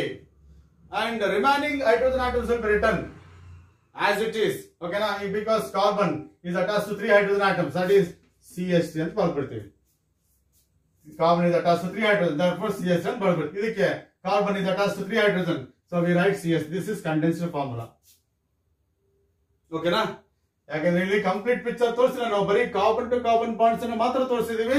ಇಲ್ಲಿ complete picture carbon to carbon single bond carbon to hydrogen single bond ಎಲ್ಲ ತೋರಿಸ್ತೀವಿ ಇಲ್ಲಿ ಬರೀ carbon ಆಟಮ್ಸ್ಗಳ ಮಧ್ಯೆ ಇರತಕ್ಕಂತ ಬಾಂಡ್ಸ್ ಅನ್ನು ಮಾತ್ರ ತೋರಿಸ್ತೀವಿ. ಇಲ್ಲಿ ನೋಡಿ ಬಾಂಡ್ ಲೈನ್ ಅಲ್ಲಿ we don't represent that we don't even write carbon and hydrogen atoms simply we write the bonds present in a ಇಲ್ಲಿ ಆಟಮ್ಸ್ ಬಾಂಡ್ಸ್ ಎಲ್ಲ ಬರೆದ್ವಿ. ಇಲ್ಲಿ ಕಾರ್ಬನ್ ಟು ಕಾರ್ಬನ್ ಬಾಂಡ್ಸ್ ಮಾತ್ರ ಬರೆದ್ವಿ ಇಲ್ಲಿ ಬರೀ ಬಾಂಡ್ಸ್ ಬರೀತೀವಿ. ನೋಡಿ ದಿಸ್ ಇಸ್ ದಿಸ್ ಈ ಮಾಲಿಕ್ಯೂಲ್ ಈ ತರ ಬರೀತೀವಿ. ಇಲ್ಲೊಂದು ಆಟಮ್ ಇದೆ, ಇಲ್ಲೊಂದು ಆಟಮ್ ಇದೆ ಅಂತ ಅರ್ಥ. ಇಲ್ಲೊಂದು ಆಟಮ್ ಇದೆ, ಇಲ್ಲೊಂದು ಆಟಮ್ ಇದೆ ಇದ್ರ ಮಧ್ಯೆ ಇರ್ತಕ್ಕಂಥ ಬಾಂಡ್ ಏನು? Single bond because we have a single bond yes ಯಾಕಂದ್ರೆ, ಈಗ ನೋಡಿ carbon to carbon single bond ಇದೆ ಅಂತ ಗೊತ್ತಾಗ್ಬಿಟ್ರೆ ರಿಮೈನಿಂಗ್ ಹೈಡ್ರೋಜನ್ ಅಂತ ಬಿಟ್ಟು ನೀವು ಡಿಸೈಡ್ ಮಾಡ್ಬೋದಾ? ಯಾಕಂದ್ರೆ ಕಾರ್ಬನ್ ಹೈಡ್ರೋಜನ್ ನಾವು ಬರೆಯೋದಿಲ್ಲ. ಬೇರೆ ಆಟಮ್ಸ್ ಬರೀತೀವಿ. ಅಕಸ್ಮಾತ್ ಏನೋ if the molecule contains the atoms other than carbon and hydrogen we represent those atoms those atoms will be return but we don't write the number of the carbon atoms and hydrogen atoms present in molecule the. ಈಗ ನಾವು single bond ಇದೆ ಅಂದ್ರೆ ಬರೀ single bond ಬರ್ದಿರ್ತೀವಿ ಇದರ ಅರ್ಥ ಏನ್ ಗೊತ್ತಾ? ಈ ಎಂಡ್ ಅಲ್ಲಿ ಒಂದು ಕಾರ್ಬನ್ ಇದೆ, ಈ ಎಂಡ್ ಅಲ್ಲಿ ಇನ್ನೊಂದು ಕಾರ್ಬನ್ ಇದೆ. ಸೊ ಈ ಆಟಮ್ಸ್ಗಳ ಮಧ್ಯೆ ಒಂದು ಸಿಂಗಲ್ ಬಾಂಡ್ ಇದೆ ಅಂದ್ರೆ understood that this is attach to three hydrogen ಅಂತ ಅರ್ಥ ತಾನೆ? ನೀವು ಹೇಳೋದೇ ಬೇಡ ಅಂಡರ್ಸ್ಟುಡ್ ಏನ? ತ್ರೀ ಹೈಡ್ರೋಜನ್ ಐಟಮ್ಸ್ ಇರುತ್ತೆ ಬಿಕಾಸ್ ಕಾರ್ಬನ್ ವೇಲೆನ್ಸಿ ಫೋರ್ ಹಾಕ್ಬೇಕಲ್ವಾ ಸೊ ಇಲ್ಲಿ ಮೂರ್ ಹೈಡ್ರೋಜನ್ ಮೂರ್ ಹೈಡ್ರೋಜನ್ ಆಟಮ್ಸ್ ಬರೀಲೇಬೇಕು ತಾನೆ ಎಸ್ ಯಾಕಂದ್ರೆ ಕಾರ್ಬನ್ ವೇಲೆನ್ಸಿ ನಾಲ್ಕು ಆಗ್ಬೇಕಂದ್ರೆ there must be three hydrogen atoms ಹಾಗಾಗಿ. So this is what we call it as bond line representation yes and now in bond line representation we write the carbon to carbon bonds by using you know that is uh, lines in zigzag manner. We represent carbon to carbon bonds in a molecule by using lines in zigzag fashion. Zigzag fashion ಅಲ್ಲಿ ಏನ್ ಮಾಡ್ತೀವಿ? Lines ಅನ್ನ ಬರೀತೀವಿ. ಈ points ಇದಲ್ಲ, ಈ points ಇಲ್ಲ they are junctions of the lines ಅಂತ ಕರಿತೀವಿ. ಈ ಪಾಯಿಂಟ್ಸ್ ಏನಂತ ಕರಿತೀವಿ? ಜಂಕ್ಷನ್ಸ್ ಜಂಕ್ಷನ್ ಅಂದ್ರೆ ಎರಡು ಲೈನ್ಸ್ ಮೀಟ್ ಆಗುವಂತ ಜಾಗ. ಹೌದಾ? ಈ ಒಂದು ಲೈನ್ ಈ ಲೈನ್ ಮೀಟ್ ಆಗುತ್ತೆ? ಇದು ಜಂಕ್ಷನ್ ಈ ಲೈನ್ ಈ ಲೈನ್ ಮೀಟ್ ಇದು ಜಂಕ್ಷನ್ ಇದು ಜಂಕ್ಷನ್ ಇದು ಜಂಕ್ಷನ್ ಹೌದಾ? Junctions are the carbon atom ಇದೊಂದು ಕಾರ್ಬನ್ ಇದೊಂದು ಕಾರ್ಬನ್ ಇದೊಂದು ಕಾರ್ಬನ್ ಇದೊಂದು ಕಾರ್ಬನ್ ಎಂಡ್ ಅಲ್ಲಿ ಇಲ್ಲೊಂದು ಕಾರ್ಬನ್ ಆಟಮ್ ಇರುತ್ತೆ, ಇಲ್ಲೊಂದು ಕಾರ್ಬನ್ ಆಟಮ್ ಇರುತ್ತೆ. ಓಕೆನಾ ಇದು ಏನಿದು? ಬಾಂಡ್ ಲೈನ್ ರೆಪ್ರೆಸೆಂಟೇಷನ್ ಈಗ ನೋಡಿ, ಈಗ ನಾನು ಈಗ ಬರ್ದಿದ್ದೀನಿ ಅಂದ್ರೆ how many atoms are there in the molecule how many carbon atoms are there in the molecule one two three four five six six carbon atoms ಇದೆ ಅಂತ ಅರ್ಥ. ಇಲ್ಲಿ ಎಷ್ಟಿದೆ? ಎರಡು ಕಾರ್ಬನ್ ಆಟಮ್ ಒಂದು ಎಂಡ್ ಇಲ್ಲೊಂದು ಇಲ್ಲೊಂದು ಅಷ್ಟೇ ಮಧ್ಯದಲ್ಲಿ ಇಲ್ಲ. ಮೂರು ಕಾರ್ಬನ್ ಆಟಮ್ಸ್ ಲೆಂತ್ ಜಾಸ್ತಿ ಮಾಡ್ಬೇಕಂತ ಕೇಳ್ಬೇಡಿ ಮತ್ತೆ ನೀವು. ನೀವು ಲೆಂತ್ ಜಾಸ್ತಿ ಮಾಡಿ ಇಲ್ಲೊಂದು ಕಾರ್ಬನ್ ಇಲ್ಲೊಂದು ಕಾರ್ಬನ್ ಈಗ ಬರೆದ್ರು ಕೂಡ ಇಲ್ಲೊಂದು ಕಾರ್ಬನ್ ಇಲ್ಲೊಂದು ಕಾರ್ಬನ್ ಅಂತ ಅರ್ಥ ಅಷ್ಟೇ ಮತ್ತೆ ಲೆಂತ್ ಜಾಸ್ತಿ ಆಗಲ್ಲ ನಂಬರ್ ಆಫ್ ಕಾರ್ಬನ್ ಜಾಸ್ತಿ ಆಗುತ್ತೆ ಅಂತ ಅನ್ಕೋಬೇಡಿ. ಓಕೆನಾ ಈಗ ನೋಡಿ ಸೊ ಒಂದು ಲೈನ್ ಬಂದ್ರೆ ಅರ್ಥ? ಅದು carbon to carbon single bond ಇದೆ ಅಂತ ಅರ್ಥ. ಈಗ ನೋಡಿ ಫಾರ್ ಎಕ್ಸಾಂಪಲ್ ಈಗ ಇಲ್ಲಿ ಕಾರ್ಬನ್ ಬಂದಿದ್ದೀರಪ್ಪ ನೀವು ಒಂದಿದೆ ಸೊ ಹೈಡ್ರೋಜನ್ ಎಷ್ಟು ಇರುತ್ತೆ ಹೇಳಿ ನೋಡಿ ಇಲ್ಲಿ? ಒಂದು ವೇಲೆನ್ಸಿ ಇನ್ನು ಮೂರು ಹೈಡ್ರೋಜನ್ ತಾನೆ. ಹೌದಾ? ಇಲ್ಲಿ ಕಾರ್ಬನ್ ಇದೆ ಅಪ್ಪ. ಇಲ್ಲೊಂದು ವೇಲೆನ್ಸಿ ಇಲ್ಲೊಂದು ವೇಲೆನ್ಸಿ ಇನ್ನ ಎರಡು ಏನವು ಹೈಡ್ರೋಜನ್ ತಾನೆ. ಎಸ್ ಅದು ಅಂಡರ್ಸ್ಟುಡ್ ತಾನೆ. ನೀವು ಬರೆಯೋದೇ ಬೇಕಿಲ್ಲ, ಹೌದಾ? ಇಲ್ಲೊಂದು ಕಾರ್ಬನ್ ಇದೆ ಅಪ್ಪ. ಇಲ್ಲೊಂದು ವೇಲೆನ್ಸಿ ಇಲ್ಲೊಂದು ವೇಲೆನ್ಸಿ ಎಷ್ಟಾಯ್ತು ಅಲ್ಲಿಗೆ? ಇನ್ನ ಎರಡು ಹೈಡ್ರೋಜನ್ ಆಟಮ್ಸ್ ಹೌದಾ? ಈಗ ಇದಕ್ಕೆ ಇಲ್ಲೊಂದು ಇಲ್ಲೊಂದು ಸ್ಯಾಟಿಸ್ಫೈ ಆಗಿದೆ. ಒಂದು ಉಳಿದಿದ್ದೇನು ಇಲ್ಲೊಂದು ಹೈಡ್ರೋಜನ್ ಇಲ್ಲೊಂದು ಆಯ್ತು ಹೌದಾ? ಇಲ್ಲಿ, ಇಲ್ಲೊಂದು ಇಲ್ಲೊಂದು ಆಯ್ತು. ಇಲ್ಲೊಂದು ಏನು? ಹೈಡ್ರೋಜನ್ ಹೈಡ್ರೋಜನ್ ಹೌದಾ? ಇಲ್ಲಿ ಒಂದೇ ಇದೆ. ಒಂದು ವೇಲೆನ್ಸಿ ಇನ್ನು ಹೈಡ್ರೋಜನ್ ಇಲ್ಲೊಂದು. ಹೈಡ್ರೋಜನ್ ಇಲ್ಲೊಂದು. ಇಲ್ಲೊಂದು ಅದರ ಅರ್ಥ ಅದು. ಹೌದಾ? ಹೌದಾ? ಅಂದ್ರೆ in order represent bond line structure in order write bond line structure we use the lines in zigzag fashion the junctions of the lines will represent what yes. The junctions of the lines and terminal terminal points of the line. Will indicate what? Carbon atoms. Terminal points ಏನಿದೆಲ್ಲ ಅಂತ ಲೈನಿನ terminal points ಮತ್ತೆ junctions they indicate what yes it is the carbon atoms ಯಾರು ಓಕೆನಾ ಇನ್ನೊಂದು example ತೋರಿಸ್ಬಿಡ್ತೀನಿ ನೋಡಿ. ಓಕೆನಾ ಈಗ ನೋಡಿ that is look at this this is carbon this is carbon ಮೂರು ಕಾರ್ಬನ್ ಇದೆ ಅಂತ ಇಟ್ಕೊಳ್ಳಿ ಹಾಗಾದ್ರೆ ಇಲ್ಲಿ ಎಷ್ಟು ಹೈಡ್ರೋಜನ್ ಬರಿಬೇಕು ನೀವು? This is hydrogen this is hydrogen ಹೌದಾ? This is hydrogen and this is complete picture of the molecule yes ಮೂರು ಕಾರ್ಬನ್ ಆಟಮ್ಸ್ ಇದೆ. ಪ್ರತಿ ಕಾರ್ಬನ್ ಆಟಮ್ ವೇಲೆನ್ಸಿ ನಾಲ್ಕು ಸ್ಯಾಟಿಸ್ಫೈ ಆಗಿದೆ ನೋಡಿ. One two three four one two three four ಅದೆಲ್ಲ ಗಮನಿಸ್ಬೇಕು ನೀವು. ಹಂಗಂದ್ರೆ ಮೂರು ಕಾರ್ಬನ್ ಆಟಮ್ಸ್ ಇದೆ. ಹೌದಾ? ಎಸ್ ಮೂರು ಕಾರ್ಬನ್ ಆಟಮ್ಸ್ ಇದ್ರೆ ಇಲ್ಲಿ ಹೈಡ್ರೋಜನ್ ಎಷ್ಟು ಕನೆಕ್ಟ್ ಮಾಡ್ಬೇಕು ನೀವು ಈಗ? ವೇಲೆನ್ಸಿ ಫೋರ್ ಆಗ್ಬೇಕಂದ್ರೆ ತ್ರೀ ಆಲ್ರೆಡಿ ಟೂ ಆಗಿದೆ. ಎಷ್ಟಾಗಬೇಕಿಲ್ಲ ಟೂ ಇಲ್ಲೇನು? Three this is condensed form of this ಎಷ್ಟು ಇಲ್ಲಾರ ಬರ್ರಿ ಇಲ್ಲಾರ ಬರ್ರಿ. ಏನ್ ತೊಂದರೆ ಇಲ್ಲ. ಮತ್ತೆ ಲೆಫ್ಟೇ ಬರೀಬೇಕು ರೈಟೇ ಬರೀಬೇಕಂತೇನಿಲ್ಲ ಓಕೆನಾ this is H two C H three C H two and C H three ಹೌದಾ? ಈಗ ನೋಡಿ, ಮೂರು ಕಾರ್ಬನ್ ಇದೆ ಈಗ ಬರ್ದು ಎರಡು ಕಾರ್ಬನ್ ಅಲ್ವಾ? ಹೀಗೆ ಬರ್ದು ಎರಡು ಕಾರ್ಬನ್ ಅಂತಾನೆ. ಹಿಂಗ್ ಮಾಡಿ, ಮೂರಾಯ್ತು ನೋಡಿ ಈಗ. ಇಲ್ಲೊಂದು ಕಾರ್ಬನ್ ಇದೆ ಇಲ್ಲೊಂದು ಕಾರ್ಬನ್ ಇದೆ ಇಲ್ಲೊಂದು ಕಾರ್ಬನ್ ಇದೆ yes this is a bond line representation of this ಬೇಕಾದ್ರೆ ಹಿಂಗ್ ಬರೀರಿ. ದಿಸ್ ಇಸ್ ದಿಸ್ ಇದು ಕೂಡ ಹೌದು. ಇಲ್ಲೊಂದು ಕಾರ್ಬನ್ ಇದೆ ಇಲ್ಲೊಂದು ಕಾರ್ಬನ್ ಇದು ಕೂಡ ಹೌದು. ಯಾಕಂದ್ರೆ ಮತ್ತೆ ನೀವು ಹಿಂಗೆ ಬರೀಬೇಕಂತ ಏನು ಫಿಕ್ಸ್ ಆಗ್ಬೇಡಿ. ಎಸ್ ನಮ್ಗೆ ಏನಪ್ಪಾ? ಜಂಕ್ಷನ್ಸ್ ಬೇಕಷ್ಟೇ ಟರ್ಮಿನಲ್ ಎರಡು, ಒಂದು ಜಂಕ್ಷನ್ ಮೂರ್ ಆಯ್ತಲ್ವಾ? ಟರ್ಮಿನಲ್ ಎರಡು, ಒಂದು ಒಂದು ಜಂಕ್ಷನ್ ಓಕೆನಾ ಈಗ ಹಿಂಗೂ ಬರೀಬೋದು, ನೋಡಿ. ಇಲ್ಲೊಂದು ಕಾಬ್ ಇಲ್ಲೊಂದು ಇದು ಇದು ಕೂಡ ಸರಿನೇ. ನೋಡಿ ಹೀಗೂ ಬರೀಬೋದು. ಎಸ್ ನೋಡಿ, ಇದು ಕೂಡ ಸರಿನೇ. ಎಸ್ ಇವೆಲ್ಲ ಒಂದೇ ಮಾಲೀಕ this is R R R ನೋಡಿ, ಇವೆಲ್ಲ ಕೂಡ ಒಂದನ್ನೇ ರೆಪ್ರೆಸೆಂಟ್ ಮಾಡುತ್ತೆ. ಎಸ್ ಓಕೆ ನಾನು ನೀವು ಹಿಂಗೂ ಬರೀಬೋದು ಬೇಕಾದ್ರೆ. ಎಸ್ ನೋಡಿ. ಇಲ್ಲೊಂದು ಕಾರ್ಬನ್ ಇಲ್ಲೊಂದು ಕಾರ್ಬನ್ ಎಲ್ಲ ಒಂದೇ ಇವೆಲ್ಲ ಪ್ರೋಪೇನ್ ಮೂರು ಕಾರ್ಬನ್ ಇದೆ ಅಂತ ಅರ್ಥ. ನೀವು ಗಮನಿಸ್ಬೇಕು, ನೀವು ಹಿಂಗೆಲ್ಲ ಬರೀತಾ ಹೋಗ್ಬಿಟ್ರೆ ಇಂಗ್ಲಿಷ್ ಆಲ್ಫಾಬೆಟ್ಸ್ ಎಲ್ಲ ಬರೀತಿದ್ರಾಗೆ ನನ್ ಕೇಳಿದ್ರೆ, ನಿಮ್ಮ ನಿಮ್ಮ ಹೆಸರು ಒಳಗಡೆ ಏನು ಲೆಟರ್ಸ್ ಇದಾವಲ್ಲ each letter is representing one organic compound ನಾನು ಕೇಳಿದ್ರೆ. ಅದು ಬೇಕಾದ್ರೆ ನಿಮಗೆ ತೋರಿಸ್ತೀನಿ, ಎಲ್ಲ ಐಡಿಯಾ ಬಂದ್ಮೇಲೆ. ಓಕೆನಾ ವೆರಿ ಇಂಟ್ರೆಸ್ಟಿಂಗ್ ಇದೆ ಇದೆಲ್ಲ. ಓಕೆನಾ ಈಗ ಬನ್ನಿ, ಇನ್ನೊಂದು ಕಾಂಪೌಂಡ್ ತಗೋತೀನಿ. ಎಸ್ ದಿಸ್ ಇಸ್ ಮೂರು ಕಾರ್ಬನ್ ಇದೆ. ಎಸ್ ಇಲ್ಲೊಂದು ಬರೀತೀನಿ ಅಂತ ಇಟ್ಕೊಳ್ಳಿ. ಎಸ್ ನಾಲ್ಕು ಆಯ್ತಾ? ಈಗ ನೋಡಿ. This is one this is one this is one this is one C H three C H ಇಲ್ಲಿ ನೋಡಿ. This is H this is H this is H ಹೌದಾ? ಇಲ್ಲಿ ನೋಡಿ ಒಂದಾಯ್ತು. ಇಲ್ಲಿ ಎಷ್ಟು ಬರೀತೀರಿ ಈಗ? Yes it is three hydro ಹೌದಾ? This is complete picture of the molecule yes ನಾಲ್ಕು ಕಾರ್ಬನ್ ಇದೆಯಲ್ಲ so ಬರ್ದ್ಬಿಡಿ. This is four carbon yes ಈಗ ನೋಡಿ ಈಗ. ಎಷ್ಟು ಬರೀತೀರಿ ಸಿ ಎಚ್ ಇಲ್ಲಿ ಎಷ್ಟು ಬರೀತಾರ ಸಿ ಎಚ್ ಇಲ್ಲಿ. ಸಿ ಎಚ್ ತ್ರೀ ಇಲ್ಲಿ. C H this is condensed formula of this ಈಗ ನೋಡಿ. ದಿಸ್ ದಿಸ್ ಒಂದು, ಎರಡು, ಮೂರು. ಹೌದಾ? ಮೂರು ಆಯ್ತಾ? ಇಲ್ಲಿ ನಾಲ್ಕು ಇರೋದು. ನೀವು ಹಿಂಗ್ ಬರ್ದ್ರೆ ನಾಲ್ಕು ಆಗುತ್ತೆ. ಹೌದಾ? ಬಟ್ ಎಲ್ಲಾ ಕಾಮನ್ ಐಟಮ್ಸ್ ಒಂದೇ ಚಾನಲ್ ಇಲ್ಲ. ಇಲ್ಲಿ ನೋಡಿ, ಈ ಕಾಮನ್ ಐಟಮ್ ಸೆಕೆಂಡ್ ಕನೆಕ್ಟ್ ಆಗಿದೆ. ಹಾಗಾಗಿ ಈಗ ಬರೀರಿ. ಎಸ್ ಈ common atom yes it is ಈ common atom second atom connect ಆಗಿದೆ. ಹೀಗ್ ಬರೀರಿ. ಇಲ್ಲಾಂದ್ರೆ ಹೀಗೆ ಬರೀರಿ. ಎಸ್ ಹೀಗೂ ಬರೀಬೋದಲ್ಲ this is one carbon this is one carbon this is one and attached attach this another carbon. Yes ಆಗ್ಬೋದಾ ಸೊ ಹೀಗೆ ದಿಸ್ ಇಸ್ ಆರ್ ಈ ತರ ಓಕೆನಾ ಇಲ್ಲೊಂದು ಕಾಮನ್ ಇದೆ ಇಲ್ಲೊಂದು ಕಾಮನ್ ಇದೆ ದಿಸ್ ಇಸ್ ಅನದರ್ ಎಸ್ ಅರ್ಥ ಆಯ್ತಲ್ವಾ? ಇನ್ನೊಂದು ಬೇಕು ಇನ್ನೊಂದು ಎಕ್ಸಾಂಪಲ್ ಕೊಡ್ತೀನಿ ನೋಡಿ. That is that is C C and across C this is C ಓಕೆನಾ this is C this is H H and H this is H this is H this is H this is H, H and H, and this is H, this is H, yes, this is H, this is H, this is H. ಹೌದಾ? This is one molecule, yes. ಓಕೆನಾ ಎಷ್ಟಿದೆ carbon ಅಲ್ಲಿ? ನಾಲ್ಕಿದೆ ಹೌದಾ? ನಾಲ್ಕು ಬರೀರಿ S ಈ ತರ ನಾಲ್ಕಿದೆ S ಈ ಸೆಕೆಂಡ್ಗೆ ಎರಡು ಕಾರ್ಬನ್ ತರ ಕನೆಕ್ಟ್ ಆಗಿರೋದು yes this is one carbon this is another carbon yes this is one more carbon ನೋಡಿ ಈಗ ಇನ್ನೆರಡು ಹಾಗೆ ಇದೆ ಎಸ್ ನೀವು ನೋಡಿ ಸಿ ಎಸ್ ತ್ರೀ ಓಕೆನಾ ಇಲ್ಲಿ ಏನಾದ್ರು ಹೈಡ್ರೋಜನ್ ಕನೆಕ್ಟ್ ಮಾಡ್ತಾರೆ ಇಲ್ಲ ತಾನೆ because all the valencies are satisfied ಇಲ್ಲಿ ಸಿ ಎಚ್ ತ್ರೀ ಇಲ್ಲಿ ಸಿ ಎಚ್ ತ್ರೀ ಇಲ್ಲಿ ಸಿ ಎಚ್ ಟು ಇಲ್ಲಿ ಸಿ ಎಚ್ ತ್ರೀ ಹೌದಾ? This is what condensed formula of this in the condensed formula we don't represent C H bonds we represent only carbon to carbon bonds there yes ಈಗ ನೋಡಿ, ಇದರ ಒಂದು bond line representation first ನಾಲ್ಕು carbon number ಇದೆ. This is four carbon one two three four yes ಆಯ್ತಲ್ವಾ? One two three four ಹೌದಾ? ಯಾಕಂದ್ರೆ ಈ ಎರಡು ಕಾರ್ಬನ್ ಐಟಮ್ಸ್ ಟರ್ಮಿನಲ್ಸ್ ಎರಡು ಜಂಕ್ಷನ್ಸ್ ಹೌದಾ? ಸೆಕೆಂಡ್ಗೆ ಒಂದು ಕಾರ್ಬನ್ ಒಂದು ಲೈನ್ ಬರೀರಿ. ಇದಕ್ಕೆ ಇನ್ನೊಂದು ಕಾರ್ಬನ್ ಅದಕ್ಕೆ ಒಂದು ಲೈನ್ ಬರೀರಿ. ಎಸ್ ಆಯ್ತಲ್ವಾ? Yes this is attach to ಇಲ್ಲಿ ಒಂದು ಕಾರ್ಬನ್ ಇದೆ ಇಲ್ಲೊಂದು ಕಾರ್ಬನ್ ಇದು. ಪಾಯಿಂಟ್ ಎಸ್ ಇದಕ್ಕೆ ನಾಲ್ಕು ವೇಲೆನ್ಸ್ ನೋಡಿ one two three four yes this is particular yes bond line representation of this particular molecule yes so ಹೀಗೆ ನಾವೇನ್ ಮಾಡ್ಬೋದು? ಬಾಂಡ್ ಲೈನ್ ರೆಪ್ರೆಸೆಂಟೇಷನ್ಸ್ ಅನ್ನ ಕಂಪ್ಲೀಟ್ ಸ್ಟ್ರಕ್ಚರ್ಸ್ ಅನ್ನ ಮತ್ತೆ yes it is condense structures ಅನ್ನ ಬರಿತೀವಿ. ನಾವು ಜನರಲ್ ಆಗಿ ಯೂಸ್ ಮಾಡೋದು ಕಂಡೆನ್ಸ್ ಸ್ಟ್ರಕ್ಚರ್ಸ್ ಅನ್ನ ಮತ್ತೆ ಬಾಂಡ್ ಲೈನ್ ರೆಪ್ರೆಸೆಂಟೇಷನ್ಸ್ ಅನ್ನ.